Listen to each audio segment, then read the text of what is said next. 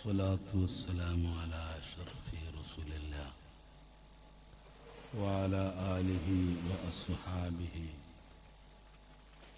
الفائزين برضا الله أما بعد. فأعوذ بالله من الشيطان الرجيم. بسم الله الرحمن الرحيم. فهل عسيتم إن توليتم أن تفسدوا في الأرض وتقطعوا أرحامكم؟ أولئك لعنهم الله فأسمهم وأعمى أبصارهم. صدق الله العظيم.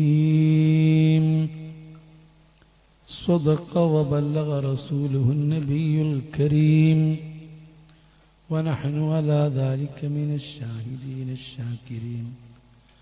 والحمد لله رب العالمين. الصلاة والسلام عليك يا سيدي يا رسول الله. خذ بيدي قلت حيلتي أدركني الصلاة والسلام عليك يا سيدي يا رسول الله خذ بيدي قلت حيلتي أدركني الصلاة والسلام عليك يا سيدي يا رسول الله خذ بيدي قلت حيلتي أدركني. يا سيد السادات جئتك قاصدا أرجو رضاك واحتمي بهماك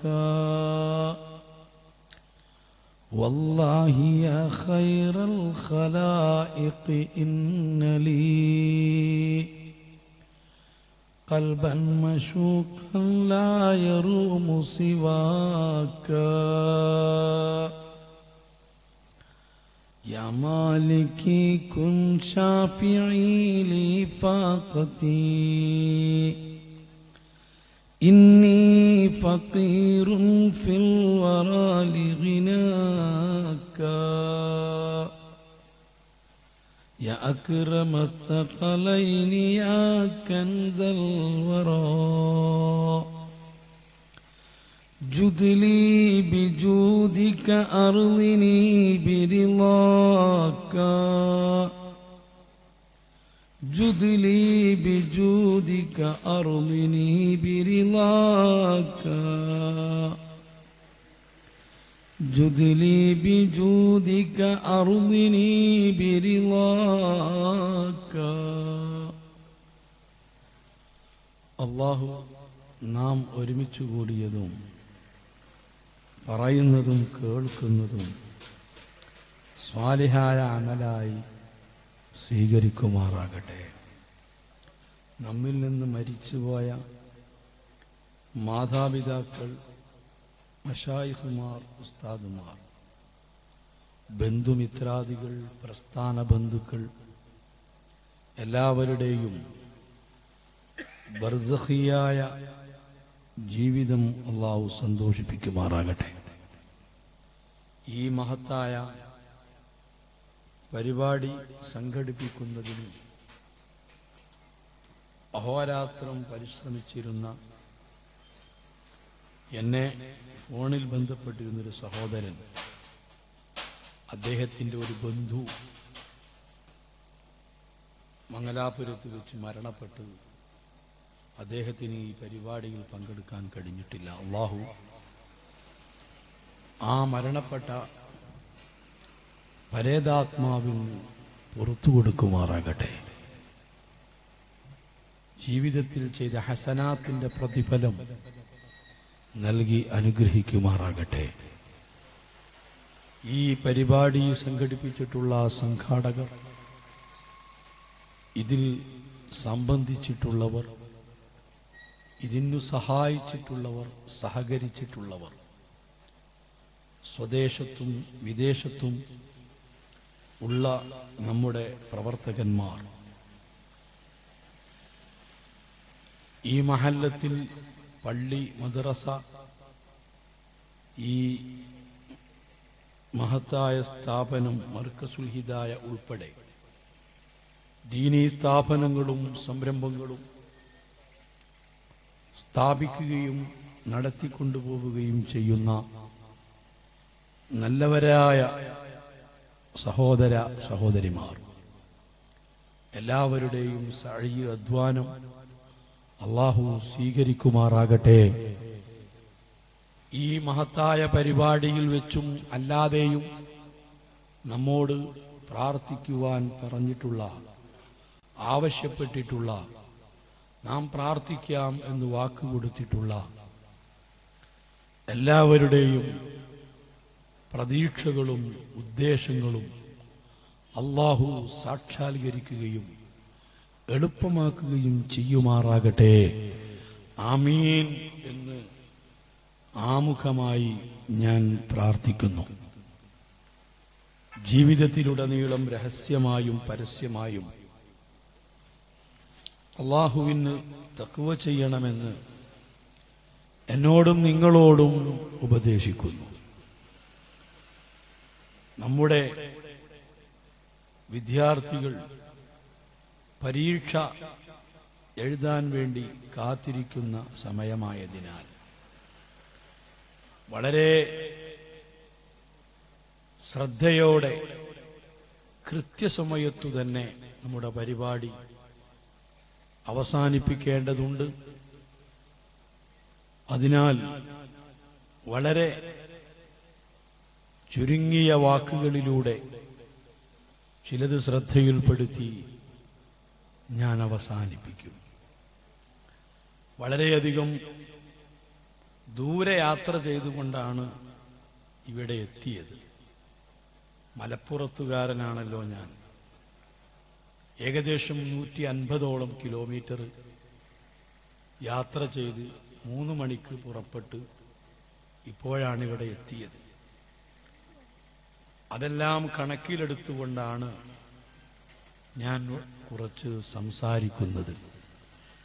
നമ്മുടെ പ്രവർത്തകന്മാർ ഇതുപോലുള്ള പരിപാടിക്ക് വളരെ താല്പര്യത്തോടെ ക്ഷണിക്കുമ്പോൾ ഒഴിഞ്ഞു മാറുന്നത് ശരിയല്ല എന്ന ഉദ്ദേശത്തിലാണ് ഞാൻ പരിപാടി ഏൽക്കാറുള്ളത്. അള്ളാഹു സുബാനുഹുവ താര എല്ലാവർക്കും അതർഹിക്കുന്ന പ്രതിഫലം നൽകുമാറാവട്ടെ. പ്രത്യേകിച്ച് ഈ മഹല്ലത്തിലൊക്കെയുള്ള സഹോദര സഹോദരിമാർ ഇതര മതത്തിൽപ്പെട്ട സുഹൃത്തുക്കൾ അവരൊക്കെ ശാന്തിയും സമാധാനവും ആഗ്രഹിക്കുന്നവരും വളരെ നല്ല മനുഷ്യപ്പറ്റ് നിലനിർത്തി സൗഹൃദം പങ്കിടുന്നവരുമാണ്. അള്ളാഹു സമാധാനം നമ്മിലും നമ്മുടെ നാട്ടിലും കുടുംബത്തിലും എല്ലാം നിലനിർത്തി തരുമാറാകട്ടെ. ആമീൻ. സഹോദരന്മാരെ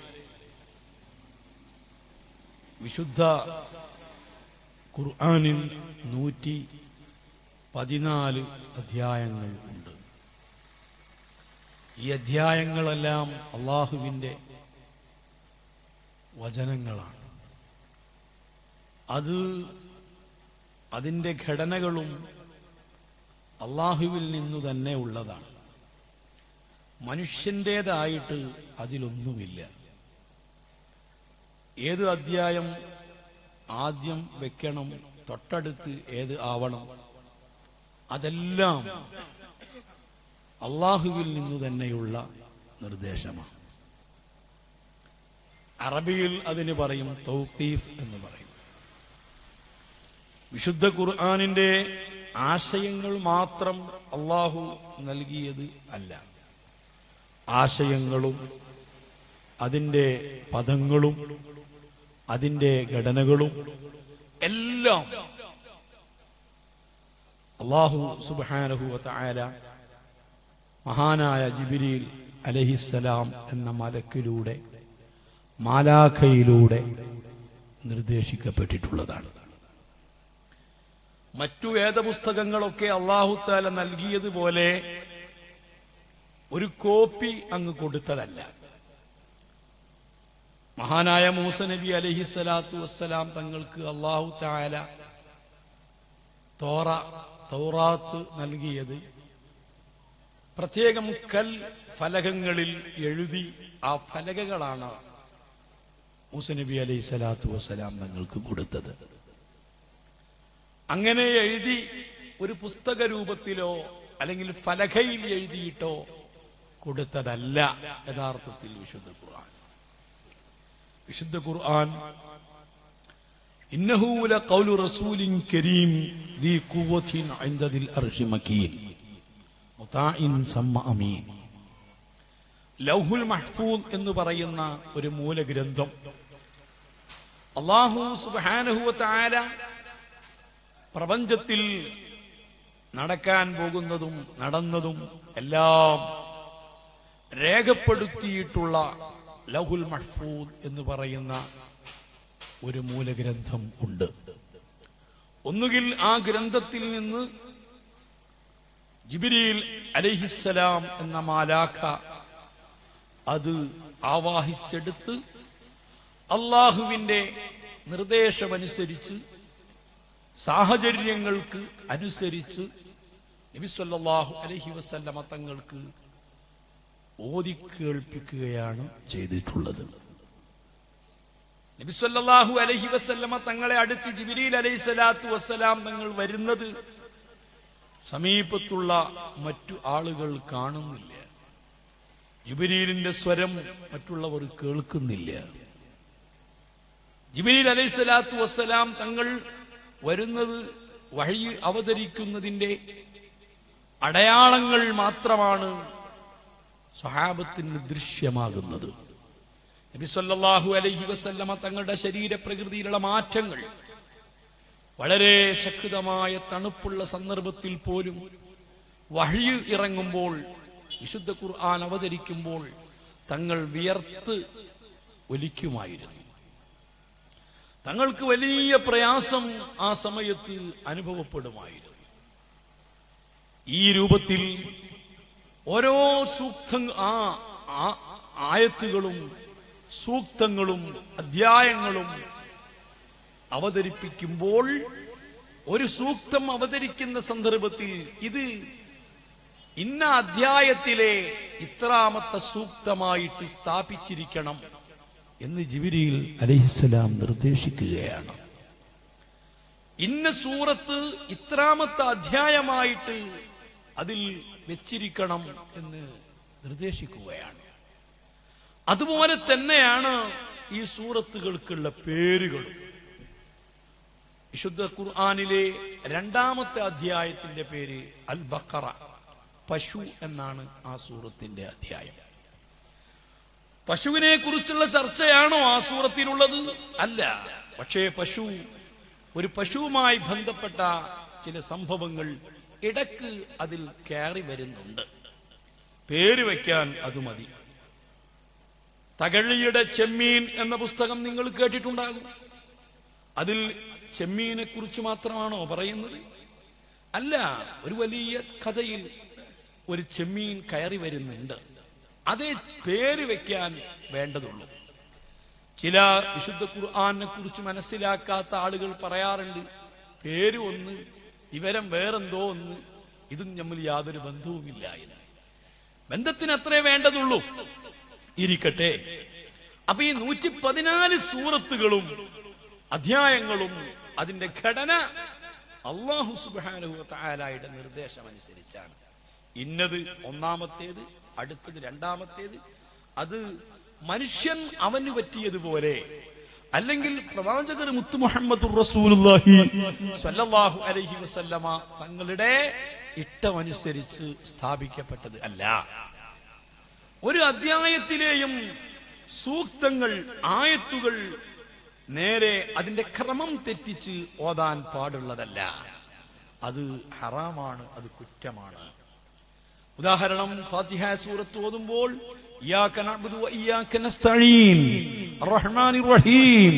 ഇങ്ങനെ ക്രമം തെറ്റിച്ച് ഓതാൻ പാടുള്ളതല്ല. അതുപോലെ പണ്ഡിതന്മാരുടെ ഏറ്റവും പ്രബലമായ വീക്ഷണം അനുസരിച്ച് വിശുദ്ധ ഖുർആാനിന്റെ സൂക്തങ്ങളും അങ്ങനെ ക്രമം തെറ്റിച്ച് ഓതാൻ പാടുള്ളതല്ല. അധ്യായങ്ങളും അങ്ങനെ ഓടാൻ പാടുള്ളതല്ല. ഒരാൾ എന്ന ഏറ്റവും അവസാനത്തെ സൂറത്ത്. അത് പാരായണം ചെയ്താൽ ഓതിയാൽ ശേഷം ഓതേണ്ടത് റബ്ബിൽ ഫലക്ക് അല്ല. അത് ക്രമം തെറ്റിച്ച് ഓതലാണ്. അടുത്ത് ഫാത്തിഹ സൂറത്ത് മുതൽ അൽബക്കറ മുതൽ തുടങ്ങണം. ഇതാണ് അതിന്റെ നിയമമുള്ളത്. ഇതെന്തുകൊണ്ട് ആ ക്രമം അള്ളാഹുവിൽ നിന്ന് ഉള്ളതാണ് അത് തെറ്റിക്കാൻ പാടുള്ളതല്ല. സഹോദരന്മാരെ ഞാൻ പറഞ്ഞു വന്നത് എന്നാൽ ഈ ഖുർആാനിലെ സൂറത്തുകൾ അതിലൊരു സൂറത്താണ് സൂറത്ത് മുഹമ്മദ്. നബി അലൈഹി വസല്ലമ തങ്ങളുടെ പേരിൽ ഒരു സൂറത്തുണ്ട്. അതേ സമയത്ത് പല പേരിലും സൂറത്തുകളുണ്ട്. ബഹുമാനപ്പെട്ട വിശുദ്ധ ഖുർആാനിൽ ഏറ്റവും കൂടുതൽ ചർച്ച ചെയ്ത ഒരു പ്രവാചകരാണ് മഹാനായ മൂസ നബി അലഹിസലാം ജൂതന്മാരുടെ പ്രവാചകരാകുന്ന മോശസ് എന്നവർ പറയുന്ന മൂസ നബി അലൈഹിസ്സലാം മൂസ നബി അലൈഹിസ്ലാത്തു വസ്സലാമിന്റെ ജീവിത ചരിത്രം ഉടനീളം ഖുർആാനിലുണ്ട്. അത്ര ചരിത്രം വിവരിക്കപ്പെട്ട ഒരു പ്രവാചകൻ തന്നെ കാണാൻ കഴിയില്ല. പക്ഷേ മൂസ നബിയുടെ പേരിൽ ഒരു സൂറത്ത് ഇല്ല. സൂറത്ത് മൂസ എന്ന് പറയുന്ന ഒരു സൂറത്ത് ഖുർആാനിൽ കാണാൻ കഴിയില്ല. എന്നാൽ പിന്നെ പ്രവാചകന്മാരുടേത് മാത്രമാണോ? അല്ല മറിയം ബീവി റളിയല്ലാഹു അൻഹ. ക്രിസ്ത്യാനികളുടെ വലിയ അവർ ആദരവോടെ കാണുന്ന കന്യാമറിയം ആ മറിയം ബീവിയുടെ പേരിൽ ഒരു സൂറത്ത് വിശുദ്ധ ഖുർആാനിൽ ഉണ്ട്. അതേ സമയത്ത് സൂറത്ത് ഈസ അങ്ങനെ ഒരു സൂറത്ത് ഖുർആാനിൽ കാണാൻ കഴിയുകയുമില്ല. എന്നാൽ പ്രവാചകന്മാരെ കുറിച്ച് മാത്രമാണോ? വേറെ പലരെ കുറിച്ച് വിശുദ്ധ ഖുർആൻ സൂറത്ത് ഇറക്കിയിട്ടുണ്ട്. ഇരിക്കട്ടെ. ഞാൻ പറയുന്നത് സൂറത്ത് മുഹമ്മദ്. ഞാൻ എന്റെ പ്രിയപ്പെട്ട മുസ്ലിം സഹോദരന്മാരോട് പറയുന്നത് ഈ സൂറത്ത് നിങ്ങൾ ഒന്ന് ശ്രദ്ധിക്കണം. ഞാനിങ്ങനെ വയത് പറയല്ല നിങ്ങൾ ശ്രദ്ധിക്കാൻ വേണ്ടി പറയാം. ഈ സൂറത്തിലെ ഒരു ആയത്ത് വളരെയധികം ചിന്തിക്കേണ്ടതുണ്ട്. വർത്തമാന കാലത്ത് വിശുദ്ധ ഖുർആാനിലെ ഓരോ ആയത്തുകളും ഓരോ സെന്റൻസുകളും വളരെ പ്രസക്തമാണ്. അത് അത് അവതരിപ്പിക്കപ്പെട്ട കാലഘട്ടത്തിൽ കാലിക പ്രസക്തിയുള്ളതാണ്. ഇനി എല്ലാ കാലത്തും അതേപോലെ കാലിക പ്രസക്തിയുള്ളതാണ്. അതാണ് ഖുർആാന്റെ പ്രത്യേകത. അതേ സമയത്ത് ഇന്നൊരു സാഹിത്യകാരൻ ഇന്നോ ഇന്നലെയോ ഒരു സാഹിത്യകാരൻ ഒരു പുസ്തകം അവൻ ഇറക്കിയിട്ടുണ്ട് എങ്കിൽ ആ പുസ്തകം ഇറങ്ങിയിരുന്ന കാലത്ത് ഒരുപക്ഷെ അത് കാലിക പ്രസക്തിയുള്ളതായിരിക്കും. അത് ചൂടപ്പം പോലെ വിറ്റയിക്കപ്പെടും ആ പുസ്തകം തന്നെ അടുത്ത കാലത്ത് പ്രസക്തി ഉണ്ടാവുകയില്ല. അതുകൊണ്ടാണല്ലോ പരിഷ്കരിച്ച പതിപ്പ് ഇറക്കേണ്ടി വരുന്നത്. അല്ലെങ്കിൽ പരിഷ്കരിച്ച പതിപ്പ് വേണ്ടി വരില്ലല്ലോ. ഏത് പുസ്തകത്തിനാണ് ഒരു പരിഷ്കരിച്ച പതിപ്പില്ലാത്തത്? കാരണം അത് പിന്നീട് അത് തന്നെ പിന്നെ ആ കാലഘട്ടത്തിൽ അത് കാലിക പ്രസക്തി ഉള്ളതാവുകയില്ല വിശുദ്ധ ഖുർആൻ അങ്ങനെയല്ല. വിശുദ്ധ ഖുർആൻ അവതരിപ്പിക്കപ്പെട്ട കാലഘട്ടത്തിൽ പ്രസക്തിയുള്ളതാണ്. കാലിക പ്രസക്തിയുള്ളതാണ്. എന്ന് ക്രിയാമത്ത് നാൾ വരെ ലാസ്റ്റ് പോയിന്റ് ആ സമയത്തും അത് പ്രസക്തിയുള്ളത് തന്നെയാണ്. ഇതാണ് വിശുദ്ധ ഖുർആന്റെ പ്രത്യേകത. അതുകൊണ്ട് തന്നെ ലോകത്ത് അവതരിപ്പിക്കപ്പെട്ട മറ്റു വേദപുസ്തകങ്ങൾ ആ വേദപുസ്തകങ്ങളൊക്കെ അള്ളാഹുവിൽ നിന്നുള്ള ദൈവത്തിൽ നിന്നുള്ള നിർദ്ദേശങ്ങളും അവന്റെ വചനങ്ങളുമായിരിക്കും. പക്ഷേ അതൊന്നും ആ രൂപത്തിൽ തന്നെ നിലനിർത്തുവാൻ അള്ളാഹു സുബാനുവത്താല ഉദ്ദേശിക്കാത്തത് കൊണ്ട് നിലനിർത്തിയില്ല എന്ന് മാത്രം. ജൂതന്മാരുടെ പഴയ നിയമം എന്ന് പറയപ്പെടുന്ന തൗറാത്ത് അള്ളാഹുവിന്റെ വചനങ്ങളാണ്. അതുപോലെ തന്നെ ബൈബിളിൽ അള്ളാഹുവിന്റെ വചനങ്ങളാണ്. പക്ഷേ യഥാർത്ഥത്തിൽ ആ ഗ്രന്ഥങ്ങൾ അവതരിപ്പിക്കപ്പെട്ട ഭാഷ പോലും ഇന്ന് ലോകത്ത് സംസാരിക്കുന്നില്ല. അത്രയും അത് കാലാഹരണപ്പെട്ടു. കാരണം അത് ഈ രൂപത്തിൽ നിലനിർത്തുവാൻ അള്ളാഹു ഉദ്ദേശിച്ചിട്ടുണ്ടായിരുന്നില്ല. വിശുദ്ധ ഖുർആൻ അങ്ങനെയല്ല. വിശുദ്ധ ഖുർആാനിന്റെ ഒരു അക്ഷരം പോലും ഒന്നും ഒരിക്കലും സുബഹാനല്ലാ അത് മാറ്റത്തിരുത്തലുകൾക്ക് വിധേയമാക്കപ്പെടുന്നതല്ല.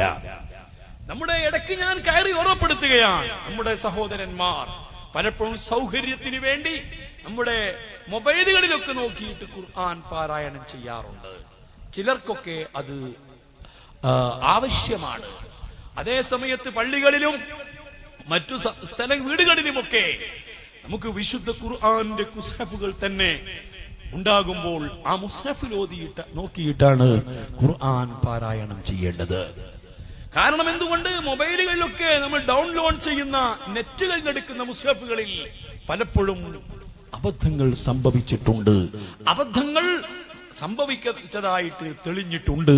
അതുകൊണ്ട് നാം പ്രത്യേകിച്ച് വിശുദ്ധ ഖുർആാനുമായിട്ട് ആഴത്തിലിറങ്ങിയിട്ട് പഠിച്ചിട്ടില്ലാത്ത ആളുകൾ വിശുദ്ധ ഖുർആൻ മനഃപ്പാടമില്ലാത്ത ആളുകൾ വിശുദ്ധ ഖുർആാനിന്റെ പ്രഥമമായ ആശയം പോലും അറിയാത്ത ആളുകൾ ഭാഷാപരമായിട്ട് അത്ര കഴിവില്ലാത്ത ആളുകൾ ചിന്തിച്ചുകൊണ്ട് ഖുർആൻ ഓതാൻ സാധിക്കാത്ത ആളുകൾ നമ്മളെപ്പോലുള്ള ആളുകളൊക്കെ കേവലം ഈ മൊബൈലുകളിൽ ഉള്ളത് മാത്രം അടിസ്ഥാനമാക്കി ഖുർആൻ ഓതരുത് അതിലൊരുപാട് അബദ്ധങ്ങളുണ്ട്. ഏതാണ് അബദ്ധം ഏതാണ് സുബദ്ധം നമുക്ക് തിരിയില്ല. അതുകൊണ്ട് പരമാവധി വിശുദ്ധ ഖുർആൻ മുസ്ഹബ് നോക്കി ഓതാൻ നമ്മൾ ശീലിച്ചിരിക്കണം. സുബാനല്ലാ വിശുദ്ധ ഖുർആൻ മുസ്ഹഫ് അതിലേക്ക് നോക്കിയിരിക്കുന്നത് അത് പുണ്യമുള്ളതാണ്. അത് പ്രതിഫലാർഹമാണ്. സ്വന്തം മാതാവിന്റെ പിതാവിന്റെ മുഖത്തേക്ക് ആദരവോടെ നോക്കുന്നത് അത് പ്രതിഫലാർഹമാണ്. അത് പുണ്യമുള്ളതാണ്. ഒരുപാട് ഗുണങ്ങൾ അതുകൊണ്ട് ലഭിക്കുന്നതാണ്. പണ്ഡിതന്മാരെ മുഖത്തേക്ക് ബഹുമാനത്തോടുകൂടി നോക്കുന്നത് ആദരവോടുകൂടി നോക്കുന്നത് അത് പുണ്യമുള്ളതാണ്. വിശുദ്ധ കഴബയിലേക്ക് നോക്കിയിരിക്കുന്നത് പുണ്യമുള്ളതാണ്. അതുകൊണ്ട് ഖുർആൻ മനപ്പാടമുള്ളവർ തന്നെ മനപ്പാടമായി നോക്കി ഓതുന്നതിനേക്കാൾ ഏറ്റവും പുണ്യം നോക്കി ഓതുന്നതാണ് പ്രതിഫലം കൂടുന്നതാണ്. ആ പ്രതിഫലം കിട്ടുന്ന ഓത്താകണമെങ്കിൽ നാം മൊബൈലുകളിൽ നോക്കി ഓതുന്നതിന് പകരം മുസ്ഹഫ് നോക്കി ഓതേണ്ടതാണ്. ഇടയ്ക്ക് ഒന്നുകൂടി പറയുകയാണ് നമ്മുടെ വീടുകളിലും നമ്മുടെ പള്ളികളിലുമൊക്കെ ഇഷ്ടം പോലെ മുസ്ഹഫുകൾ ഉണ്ടാകുമ്പോ ആ മുസ്ഹഫുകൾ തീരെ അത് നിവർത്തിയിട്ട് പാരായണം ചെയ്യാതിരുന്നാൽ ആ മുസ്ഹഫുകൾ വേദനിക്കുമെന്ന് മുത്തുനബി പറഞ്ഞിട്ടുണ്ട്. ആ വീട്ടുകാർക്കത് ഗുണമല്ല എന്ന് പറഞ്ഞിട്ടുണ്ട് ശപിക്കുന്നതാണ്. അതുകൊണ്ട് ഒരു വീട്ടിൽ അഞ്ച് മുസ്ഹഫാണ് ഉള്ളതെങ്കിൽ അഞ്ചു പേരും ആ മുസ്ഹഫ് ഇടക്കിടക്ക് തുറന്ന് നിവർത്തി അതിലേക്കൊന്ന് കണ്ണെത്തിക്കേണ്ടതാണ്.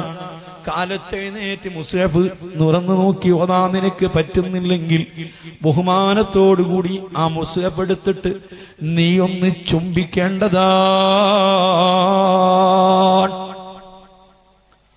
സഹോദരന്മാരെ അതുപോലെ ധാരാളം മുസ്ലിമീങ്ങൾ തിങ്ങി താമസിക്കുന്ന ഒരു സ്ഥലം. ആ സ്ഥലത്ത് ഒരു പള്ളിയുണ്ട്. പക്ഷേ ആ പള്ളിയിൽ പരിസരത്തുള്ള ആളുകൾ നിസ്കാരത്തിനെത്തുന്നില്ല. ആ പള്ളി അവരെ ശപിക്കുന്നതാണ്. സുബാനല്ലാ പള്ളികൾ ശാന്തിയുടെ സമാധാനത്തിന്റെ ഭവനങ്ങളാണ്. മുസ്ലിമീങ്ങളെ മാത്രമാണ് പള്ളിയിൽ നിന്ന് വിളിക്കപ്പെടുന്നത്. മുസ്ലിമീങ്ങളോട് മാത്രമാണ് നിസ്കരിക്കണമെന്ന് നിർദ്ദേശമുള്ളത്. മഹാനരായ മുത്തു മുഹമ്മദ് റസൂലുള്ളാഹി സ്വല്ലല്ലാഹു അലൈഹി വസല്ലമ തങ്ങൾ മദീനത്ത് വന്ന് വിശുദ്ധ മദീനയിൽ ഇസ്ലാമിക ഭരണം നടക്കുമ്പോ ഒരു രാഷ്ട്രം രൂപപ്പെടുമ്പോ ഇതേ തീർത്തും ഒരു ഇസ്ലാമിക രാഷ്ട്രമായി അവരോധിക്കപ്പെട്ടിരുന്ന സന്ദർഭത്തിൽ അത് പൂർണമായി ഇസ്ലാമിക രാഷ്ട്രമായി തീർന്നിരുന്ന ആ കാലഘട്ടത്തിൽ പോലും മുഹമ്മദുർ റസൂലുള്ള സ്വല്ലല്ലാഹു അലൈഹി വസല്ലമ തങ്ങൾ പലപ്പോഴും തെറ്റിദ്ധരിപ്പിക്കപ്പെടുന്നത് പോലെ നബിസ്വല്ലാഹു അലഹി വസല്ലമ തങ്ങൾ അതാ വാളുകൊണ്ടും യുദ്ധം കൊണ്ടും ഇസ്ലാമിനെ പ്രചരിപ്പിച്ചതല്ല. അത് ഇസ്ലാമതത്തിലില്ല. ഇസ്ലാമതത്തിൽ ഇസ്ലാം മതത്തിൽ അങ്ങനെ ഭീകരതയില്ല. ഇസ്ലാമതത്തിൽ അങ്ങനെ തീവ്രതയില്ല. ഇരുപത്തിമൂന്ന് കൊല്ലം അള്ളാഹുവിന്റെ റസൂൽ പ്രബോധന പ്രവർത്തനം തുടങ്ങിയപ്പോ നബിസ്വല്ലാഹു അലൈഹി വസല്ലമ തങ്ങൾക്കും തങ്ങളെ കൊണ്ട് വിശ്വസിച്ച വിശ്വാസികൾക്കും നിരന്തരമായി പീഡനങ്ങളും യാതനകളും ഏൽക്കേണ്ടി വന്നപ്പോ നിങ്ങൾ പ്രതികരിക്കരുത് തിരിച്ചൊന്നും ചെയ്യരുത് എന്നല്ലേ വിശുദ്ധ ഖുർആൻ നിർദ്ദേശിച്ചിരുന്നത്? എഴുപത്തി രണ്ടോളം ആയത്തുകളിൽ അല്ല എഴുപതോളം ആയത്തുകളിൽ പ്രതികരിക്കരുത്. അങ്ങോട്ടൊന്നും ചെയ്യരുത്. ഇതല്ലേ വിശുദ്ധ ഖുർആന്റെ നിർദ്ദേശമുണ്ടായത്. ഹബീബായ മുഹമ്മദ് റസൂലുള്ളാഹി സല്ലല്ലാഹു അലൈഹി വസല്ലമ തങ്ങൾ മക്കയിൽ വെച്ചുകൊണ്ട് ഇസ്ലാമിന്റെ പ്രബോധന പ്രവർത്തനങ്ങൾ തുടങ്ങുമ്പോ അതേ നൂറുക്കു നൂറ് സത്യമാണെന്ന് ബോധ്യപ്പെടുത്തി കൊടുത്ത് ആ സത്യമാണെന്ന് ബോധ്യപ്പെട്ട കാര്യങ്ങൾ അവരെ വിശ്വസിച്ചപ്പോൾ ഇന്നത്തെ നമ്മുടെ പ്രവർത്തനം പോലെയല്ല. അന്ന് പള്ളിയുണ്ടാക്കുന്നില്ല അന്ന് നിസ്കരിക്കുന്നില്ല അന്ന് ഒരു ഇസ്ലാം ഒരു ആൾ മുസ്ലിമായി എന്നതിന്റെ പേരിൽ മറ്റു പ്രവർത്തനങ്ങളൊന്നുമില്ല. നബിസ്വല്ലാഹു അലഹി വസല്ലമ തങ്ങൾ പറഞ്ഞ പകൽ വെളിച്ചം പോലെ വ്യക്തമായിരിക്കുന്ന വിശ്വാസങ്ങൾ ഒന്ന് വിശ്വസിക്കുക മാത്രമാ. ആ വിശ്വസിച്ചതിന്റെ മേൽ മാത്രം നിഷ്കരുണം അവരെ പീഡിപ്പിക്കപ്പെടുന്നു. നിഷ്കരണം കൊല ചെയ്യപ്പെടുന്നു വല്ലാതെ പരീക്ഷിക്കപ്പെടുന്നു. സുബ്ഹാനല്ലാ സുമയ്യ ബീവിയെ വിശ്വസിച്ചതിന്റെ പേരിൽ കൊല ചെയ്യപ്പെട്ടതാണ്. ഹബാബുമല്ലാഹു അൻഹു തങ്ങളെ അതാ തന്റെ പുറത്ത് കരാക്കത്തി കൊണ്ട് വരിഞ്ഞിട്ട് ചുട്ടുപഴുത്ത ചട്ടകം ഇരുമ്പിന്റെ ചട്ടകം കൊണ്ട് തന്റെ ശരീരം മൊത്തം ചൂട് വെച്ചിരുന്നതാണ്. ബിലാൽ പീഡിപ്പിച്ചിരുന്നതാണ്. ആ കഥന കഥകളൊക്കെ നിങ്ങൾക്കറിയുന്നതാണ്. അതൊക്കെ എന്തിന്റെ പേരിലാണ്? പള്ളി ഉണ്ടാക്കിയതിന്റെ പേരിലോ? മറ്റ് മറ്റ് കാരുണ്യ പ്രവർത്തനങ്ങൾ നടത്തിയതിന്റെ പേരിലോ? ജീവകാരുണ്യ പ്രവർത്തനങ്ങൾ നടത്തിയതിന്റെ പേരിലോ അല്ല. പകൽ വെളിച്ചം പോലെ ബോധ്യപ്പെട്ട യാഥാർത്ഥ്യം വിശ്വസിച്ചതിന്റെ പേരിൽ ചെയ്തിരുന്നതാണ്. പക്ഷെ അങ്ങനെയൊക്കെ ചെയ്തപ്പോഴും നിങ്ങൾ ചെറുത്തതാ അങ്ങോട്ട് ചെറുത്ത് നിൽക്കരുത്. നിങ്ങളതാ അവരെ തിരിച്ചൊന്നും പറയരുത് തിരിച്ചൊന്നും ചെയ്യരുത് എന്ന നിർദ്ദേശമാണ് വിശുദ്ധ ഇസ്ലാം നൽകിയിരുന്നത്. അങ്ങനെ ബഹുമാനപ്പെട്ട മുഹമ്മദ് വസല്ലമ തങ്ങളും തന്നോടെയുള്ള വിശ്വാസികളും അവരുടെ ജന്മനാടും വീടും സമ്പാദ്യങ്ങളും മൊത്തം ഉപേക്ഷിച്ച് മദീനയിലേക്ക് പോവുകയാണ് ചെയ്തത്. മദീനയിലെത്തിയിട്ടോ നബി സല്ലല്ലാഹു അലൈഹി വസല്ലമ തങ്ങളും മറ്റു മതത്തിൽപ്പെട്ട ആളുകളും ഒരു കൂട്ടമായി പ്രയത്നിച്ചിട്ട് ഒരു ചെറിയ ഒരു നല്ലൊരു രാജ്യത്തിന് ഒരു ശരിയായ ഭരണകൂടത്തിന് റസൂലുള്ളാഹി അലൈഹി വസല്ലമ നേതൃത്വം നൽകുകയാണ് ചെയ്തത്. അങ്ങനെ ഒരു ഭരണം ഒരു ഭരണകൂടം കെട്ടിപ്പടുത്തിട്ട് ആ ഭരണകൂടത്തിന്റെ ആ രാഷ്ട്രത്തിന്റെ രാജ്യത്തിന്റെ സുരക്ഷയ്ക്ക് വേണ്ടി അതിൻ ആ രാഷ്ട്രത്തിന്റെ സമാധാനത്തിന് വേണ്ടി മാത്രമാണ് നബി സല്ലല്ലാഹു അലൈഹി വസല്ലമ സമരം നടത്തിയത്. ഇനിയും ഞാൻ എന്റെ പ്രിയപ്പെട്ട മുസ്ലിമീങ്ങളോട് പറയുകയാണ് ഇസ്ലാമിൽ യുദ്ധം എന്നൊക്കെ പറഞ്ഞാൽ ഒരു ഭരണത്തിൻ കീഴിൽ നിന്നുകൊണ്ടുള്ള യുദ്ധമല്ലാതെ മറ്റൊരു യുദ്ധം ഇസ്ലാമതത്തിൽ ഇല്ല. അല്ലാത്ത യുദ്ധത്തിന് ഇസ്ലാം അനുവദിക്കുന്നില്ല. ഒരു ഭരണാധികാരി ആ ഭരണാധികാരിയുടെ സമ്മതത്തോടുകൂടി ആ ഭരണാധികാരിയുടെ കീഴിൽ നിന്നിട്ട് ആ ഭരണാധികാരിയുടെ നേതൃത്വത്തിൽ നിന്നിട്ട് അതേ യുദ്ധം ചെയ്യുന്ന യുദ്ധ ആ യുദ്ധത്തിൽ ശത്രുക്കളുമായിട്ട് പടവരുതി രക്തസാക്ഷിയാകുന്നവർക്ക് മാത്രമാണ് ഷഹീദ് എന്ന് പറയുന്നത്. അവരെ മാത്രമാണ് കുളിപ്പിക്കാൻ പാടില്ലാത്തത്. അവർക്ക് മാത്രമാണ് മയ്യത്ത് നിസ്കരിക്കേണ്ടാത്തത്. അല്ലാത്ത ശുഹതാക്കൾക്ക് ഷഹീദ് എന്ന പ്രത്യേകതയില്ല. അത് ആളുകൾ തെറ്റിദ്ധരിച്ചു പോവുകയാണ്. യഥാർത്ഥ ഇസ്ലാമിക ഭരണം നടക്കുന്ന രാജ്യത്ത് ആ ഭരണ നേതൃത്വത്തിന്റെ കീഴിൽ നിൽക്കുന്നവർക്ക് മാത്രമേ അത്തരം സമരത്തിന് പാടുള്ളൂ. ഒരു കാര്യം കൂടി ഞാൻ ഓർമ്മപ്പെടുത്തുകയാണ് മഹാനായ ഇബിൻ ഹജുൽ അലൈഹി ആധികാരിക ശബ്ദമല്ലേ? ഇബിൻ ഹജർ തങ്ങളുടെ ശബ്ദം. ഇബിൻ ഹജർ തങ്ങൾ പറഞ്ഞതല്ലേ? ഷാഫി മദബിലെ അന്തിമ തീരുമാനം. അവിടെ നിന്ന് പറയുന്നത് കാണാ ഒരു ഭരണകൂടത്തിന്റെ ശ്രദ്ധയിൽപ്പെട്ടാൽ പിടിക്കപ്പെടും എന്ന് തോന്നുന്ന ശിക്ഷിക്കപ്പെടുമെന്ന് ധാരണയുള്ള ഒരു കാര്യവും ചെയ്തുകൂടാ. അത് എത്ര അക്രമിയായ ഭരണാധികാരിയാണെങ്കിലും അത് താവൂത്തി ഭരണമാണെങ്കിലും ഏതൊരു ഭരണമാ രാജ്യത്തിന്റെ ഭരണമാണോ ആ ഭരണകർത്താക്കളെ ശ്രദ്ധയിൽപ്പെട്ടാൽ അവരറിഞ്ഞാൽ പിടിക്കപ്പെടും എന്ന് തോന്നുന്ന ഒരു കാര്യവും ഒരു മുസ്ലിമിന് ചെയ്തുകൂടാ? അത് ഹറാമാണ്. കള്ളുകുടിക്കൽ ഹറാമായതുപോലെ വ്യഭിചരിക്കൽ ഹറാമായതുപോലെ മറ്റു തിന്മകളൊന്നും പാടില്ലാത്തതുപോലെ ഭരണകർ അവനവൻ ജീവിക്കുന്ന രാജ്യത്തിന്റെ ആ രാജ്യം ഭരിക്കുന്ന ഭരണത്തിന്റെ ശ്രദ്ധയിൽപ്പെട്ടാൽ സർക്കാർ അറിഞ്ഞാൽ പിടിക്കപ്പെടുന്ന ഒരു കാര്യവും ഒരു മുസ്ലിം ചെയ്തുകൂടാ. ഇതാണ് ഇസ്ലാമിന്റെ കാഴ്ചപ്പാട്. അത് പരസ്യമായിട്ടല്ലത് പറയുന്നത്. എത്ര ആളാ യൂട്യൂബിൽ എല്ലാവരും കേൾക്കില്ലേ അപ്പൊ ഒരു മുസ്ലിമിനെ സംബന്ധിച്ചിടത്തോളം ആയുധ ശേഖരണം നടത്തിക്കൂടാ? ഒരു മുസ്ലിമെ സംബന്ധിച്ചിടത്തോളം ബോംബുണ്ടാക്കിക്കൂടാ? ഒരു മുസ്ലിമെ സംബന്ധിച്ചിടത്തോളം അങ്ങനെ സർക്കാർ അറിഞ്ഞാൽ പിടിക്കപ്പെടുന്ന ഒരു പരിപാടിയും ചെയ്തുകൂടാ? ഹറാമാകുന്നു എന്ന്. തങ്ങൾ തന്റെ പറഞ്ഞത് കാണാം. അതും ഞാൻ സാധാരണക്കാരെ ശ്രദ്ധയിൽപ്പെടുത്തിയതാണ്. ഇരിക്കട്ടെ.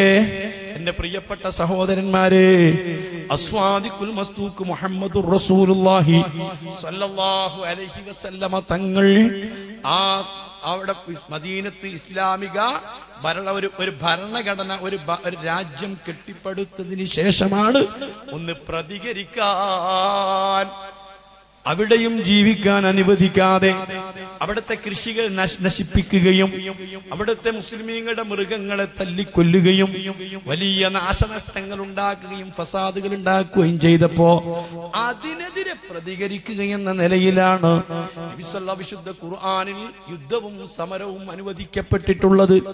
യുദ്ധം എന്ന് പറയുന്നതിനേക്കാൾ അതിന് ഏറ്റവും നല്ല പേര് സമരം എന്ന് പറയലാണ്. സമരത്തിന് അനുകൂലിക്കാത്ത പ്രസ്ഥാനങ്ങളില്ല. എല്ലാ രാഷ്ട്രീയ പാർട്ടികളും മറ്റു പ്രസ്ഥാനങ്ങളും എല്ലാവരും സമരം ചെയ്യുന്നവരാണ്. ഇസ്ലാമിൽ പറയുന്ന ജിഹാദിന് ഏറ്റവും നല്ല അർത്ഥം അതാണ് സമരം. ബദർ സമരം ഉഹദ് സമരം ഖന്തക്ക് സമരം. ഇതാണ് നമ്മൾ പറഞ്ഞു ശീലിക്കേണ്ടത്. ഇരിക്കട്ടെ ഞാൻ പറഞ്ഞു വന്നത്. അസ്വാദിക്കുൽ മസ്തൂക്ക് മുത്തു മുഹമ്മദ് റസൂലുള്ളാഹി സ്വല്ലല്ലാഹു അലൈഹി വസല്ലമ തങ്ങളുടെ പേരിലുള്ള ഒരു സൂറത്താണ് സൂറത്ത് മുഹമ്മദ്. ഈ സൂറത്ത് മുഹമ്മദിലെ ഒരു ആയത്ത് നിങ്ങളെ ശ്രദ്ധയിൽപ്പെടുത്തുകയാണ്. അള്ളാഹു വിശുദ്ധ ഖുർആാനിൽ പറയുന്നു ഇൻ തവല്ലൈതും അൻ ഫിൽ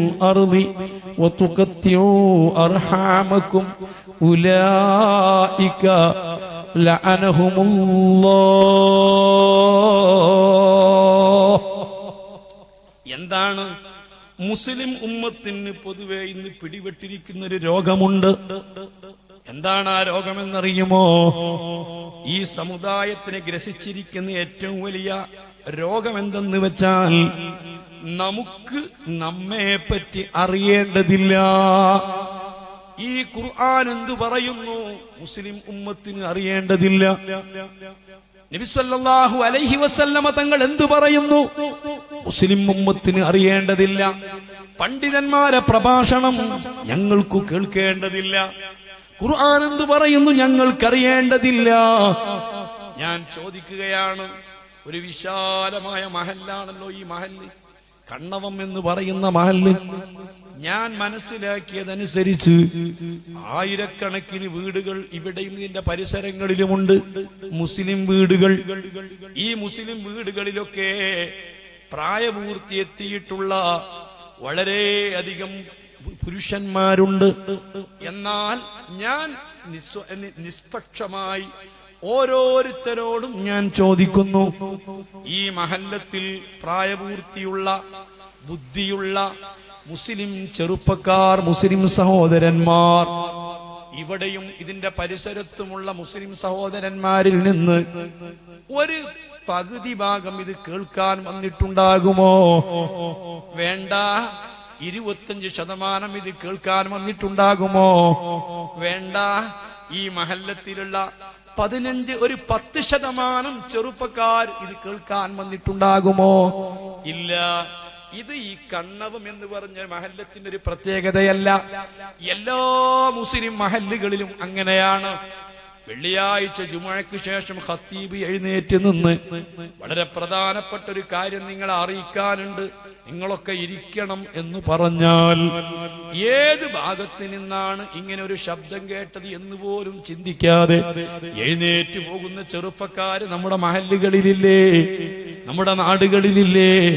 ഞാൻ ചോദിക്കുന്നു ഇത് എല്ലാ മുസ്ലിം മഹല്ലുകളിലും ഉള്ളൊരു പ്രത്യേകതയാണ്. എന്ന് പറഞ്ഞാൽ മുസ്ലിമീങ്ങൾക്ക് ഇത് തീരെ കേൾക്കേണ്ടതില്ല. വയത് കേൾക്കുന്നത് പണ്ഡിതന്മാരെ ഉപദേശം കേൾക്കുന്നത് ഇൽമിന്റെ സദസ്സുകളിൽ പങ്കെടുക്കുന്നതാരാ? ഏറെക്കുറെ ബോധത്തോടുകൂടി ജീവിക്കുന്നവർ കൃത്യമായിട്ട് നിസ്കരിക്കുന്നവർ കള്ളുകുടി പോലുള്ള അനാസ്യാച പ്രവർത്തനങ്ങളൊന്നും ചെയ്യാത്ത ഒരു ഭക്തി ഭക്തിയിൽ ജീവിക്കുന്ന ആളുകളാണ്. ഭക്തജനങ്ങളാണ് പലപ്പോഴും ഇതൊക്കെ കേൾക്കുന്നത്. അതേ സമയത്ത് ഇത് കേൾക്കേണ്ടതും പഠിക്കേണ്ടതും ആരാണ്? ഇതിനെക്കുറിച്ചൊന്നും ബോധമില്ലാത്ത നമ്മുടെ സഹോദരന്മാരാണ്. ആ സഹോദരന്മാരെ നിലപാടെന്താണ്? ഞങ്ങൾക്ക് കേൾക്കേണ്ടതില്ല.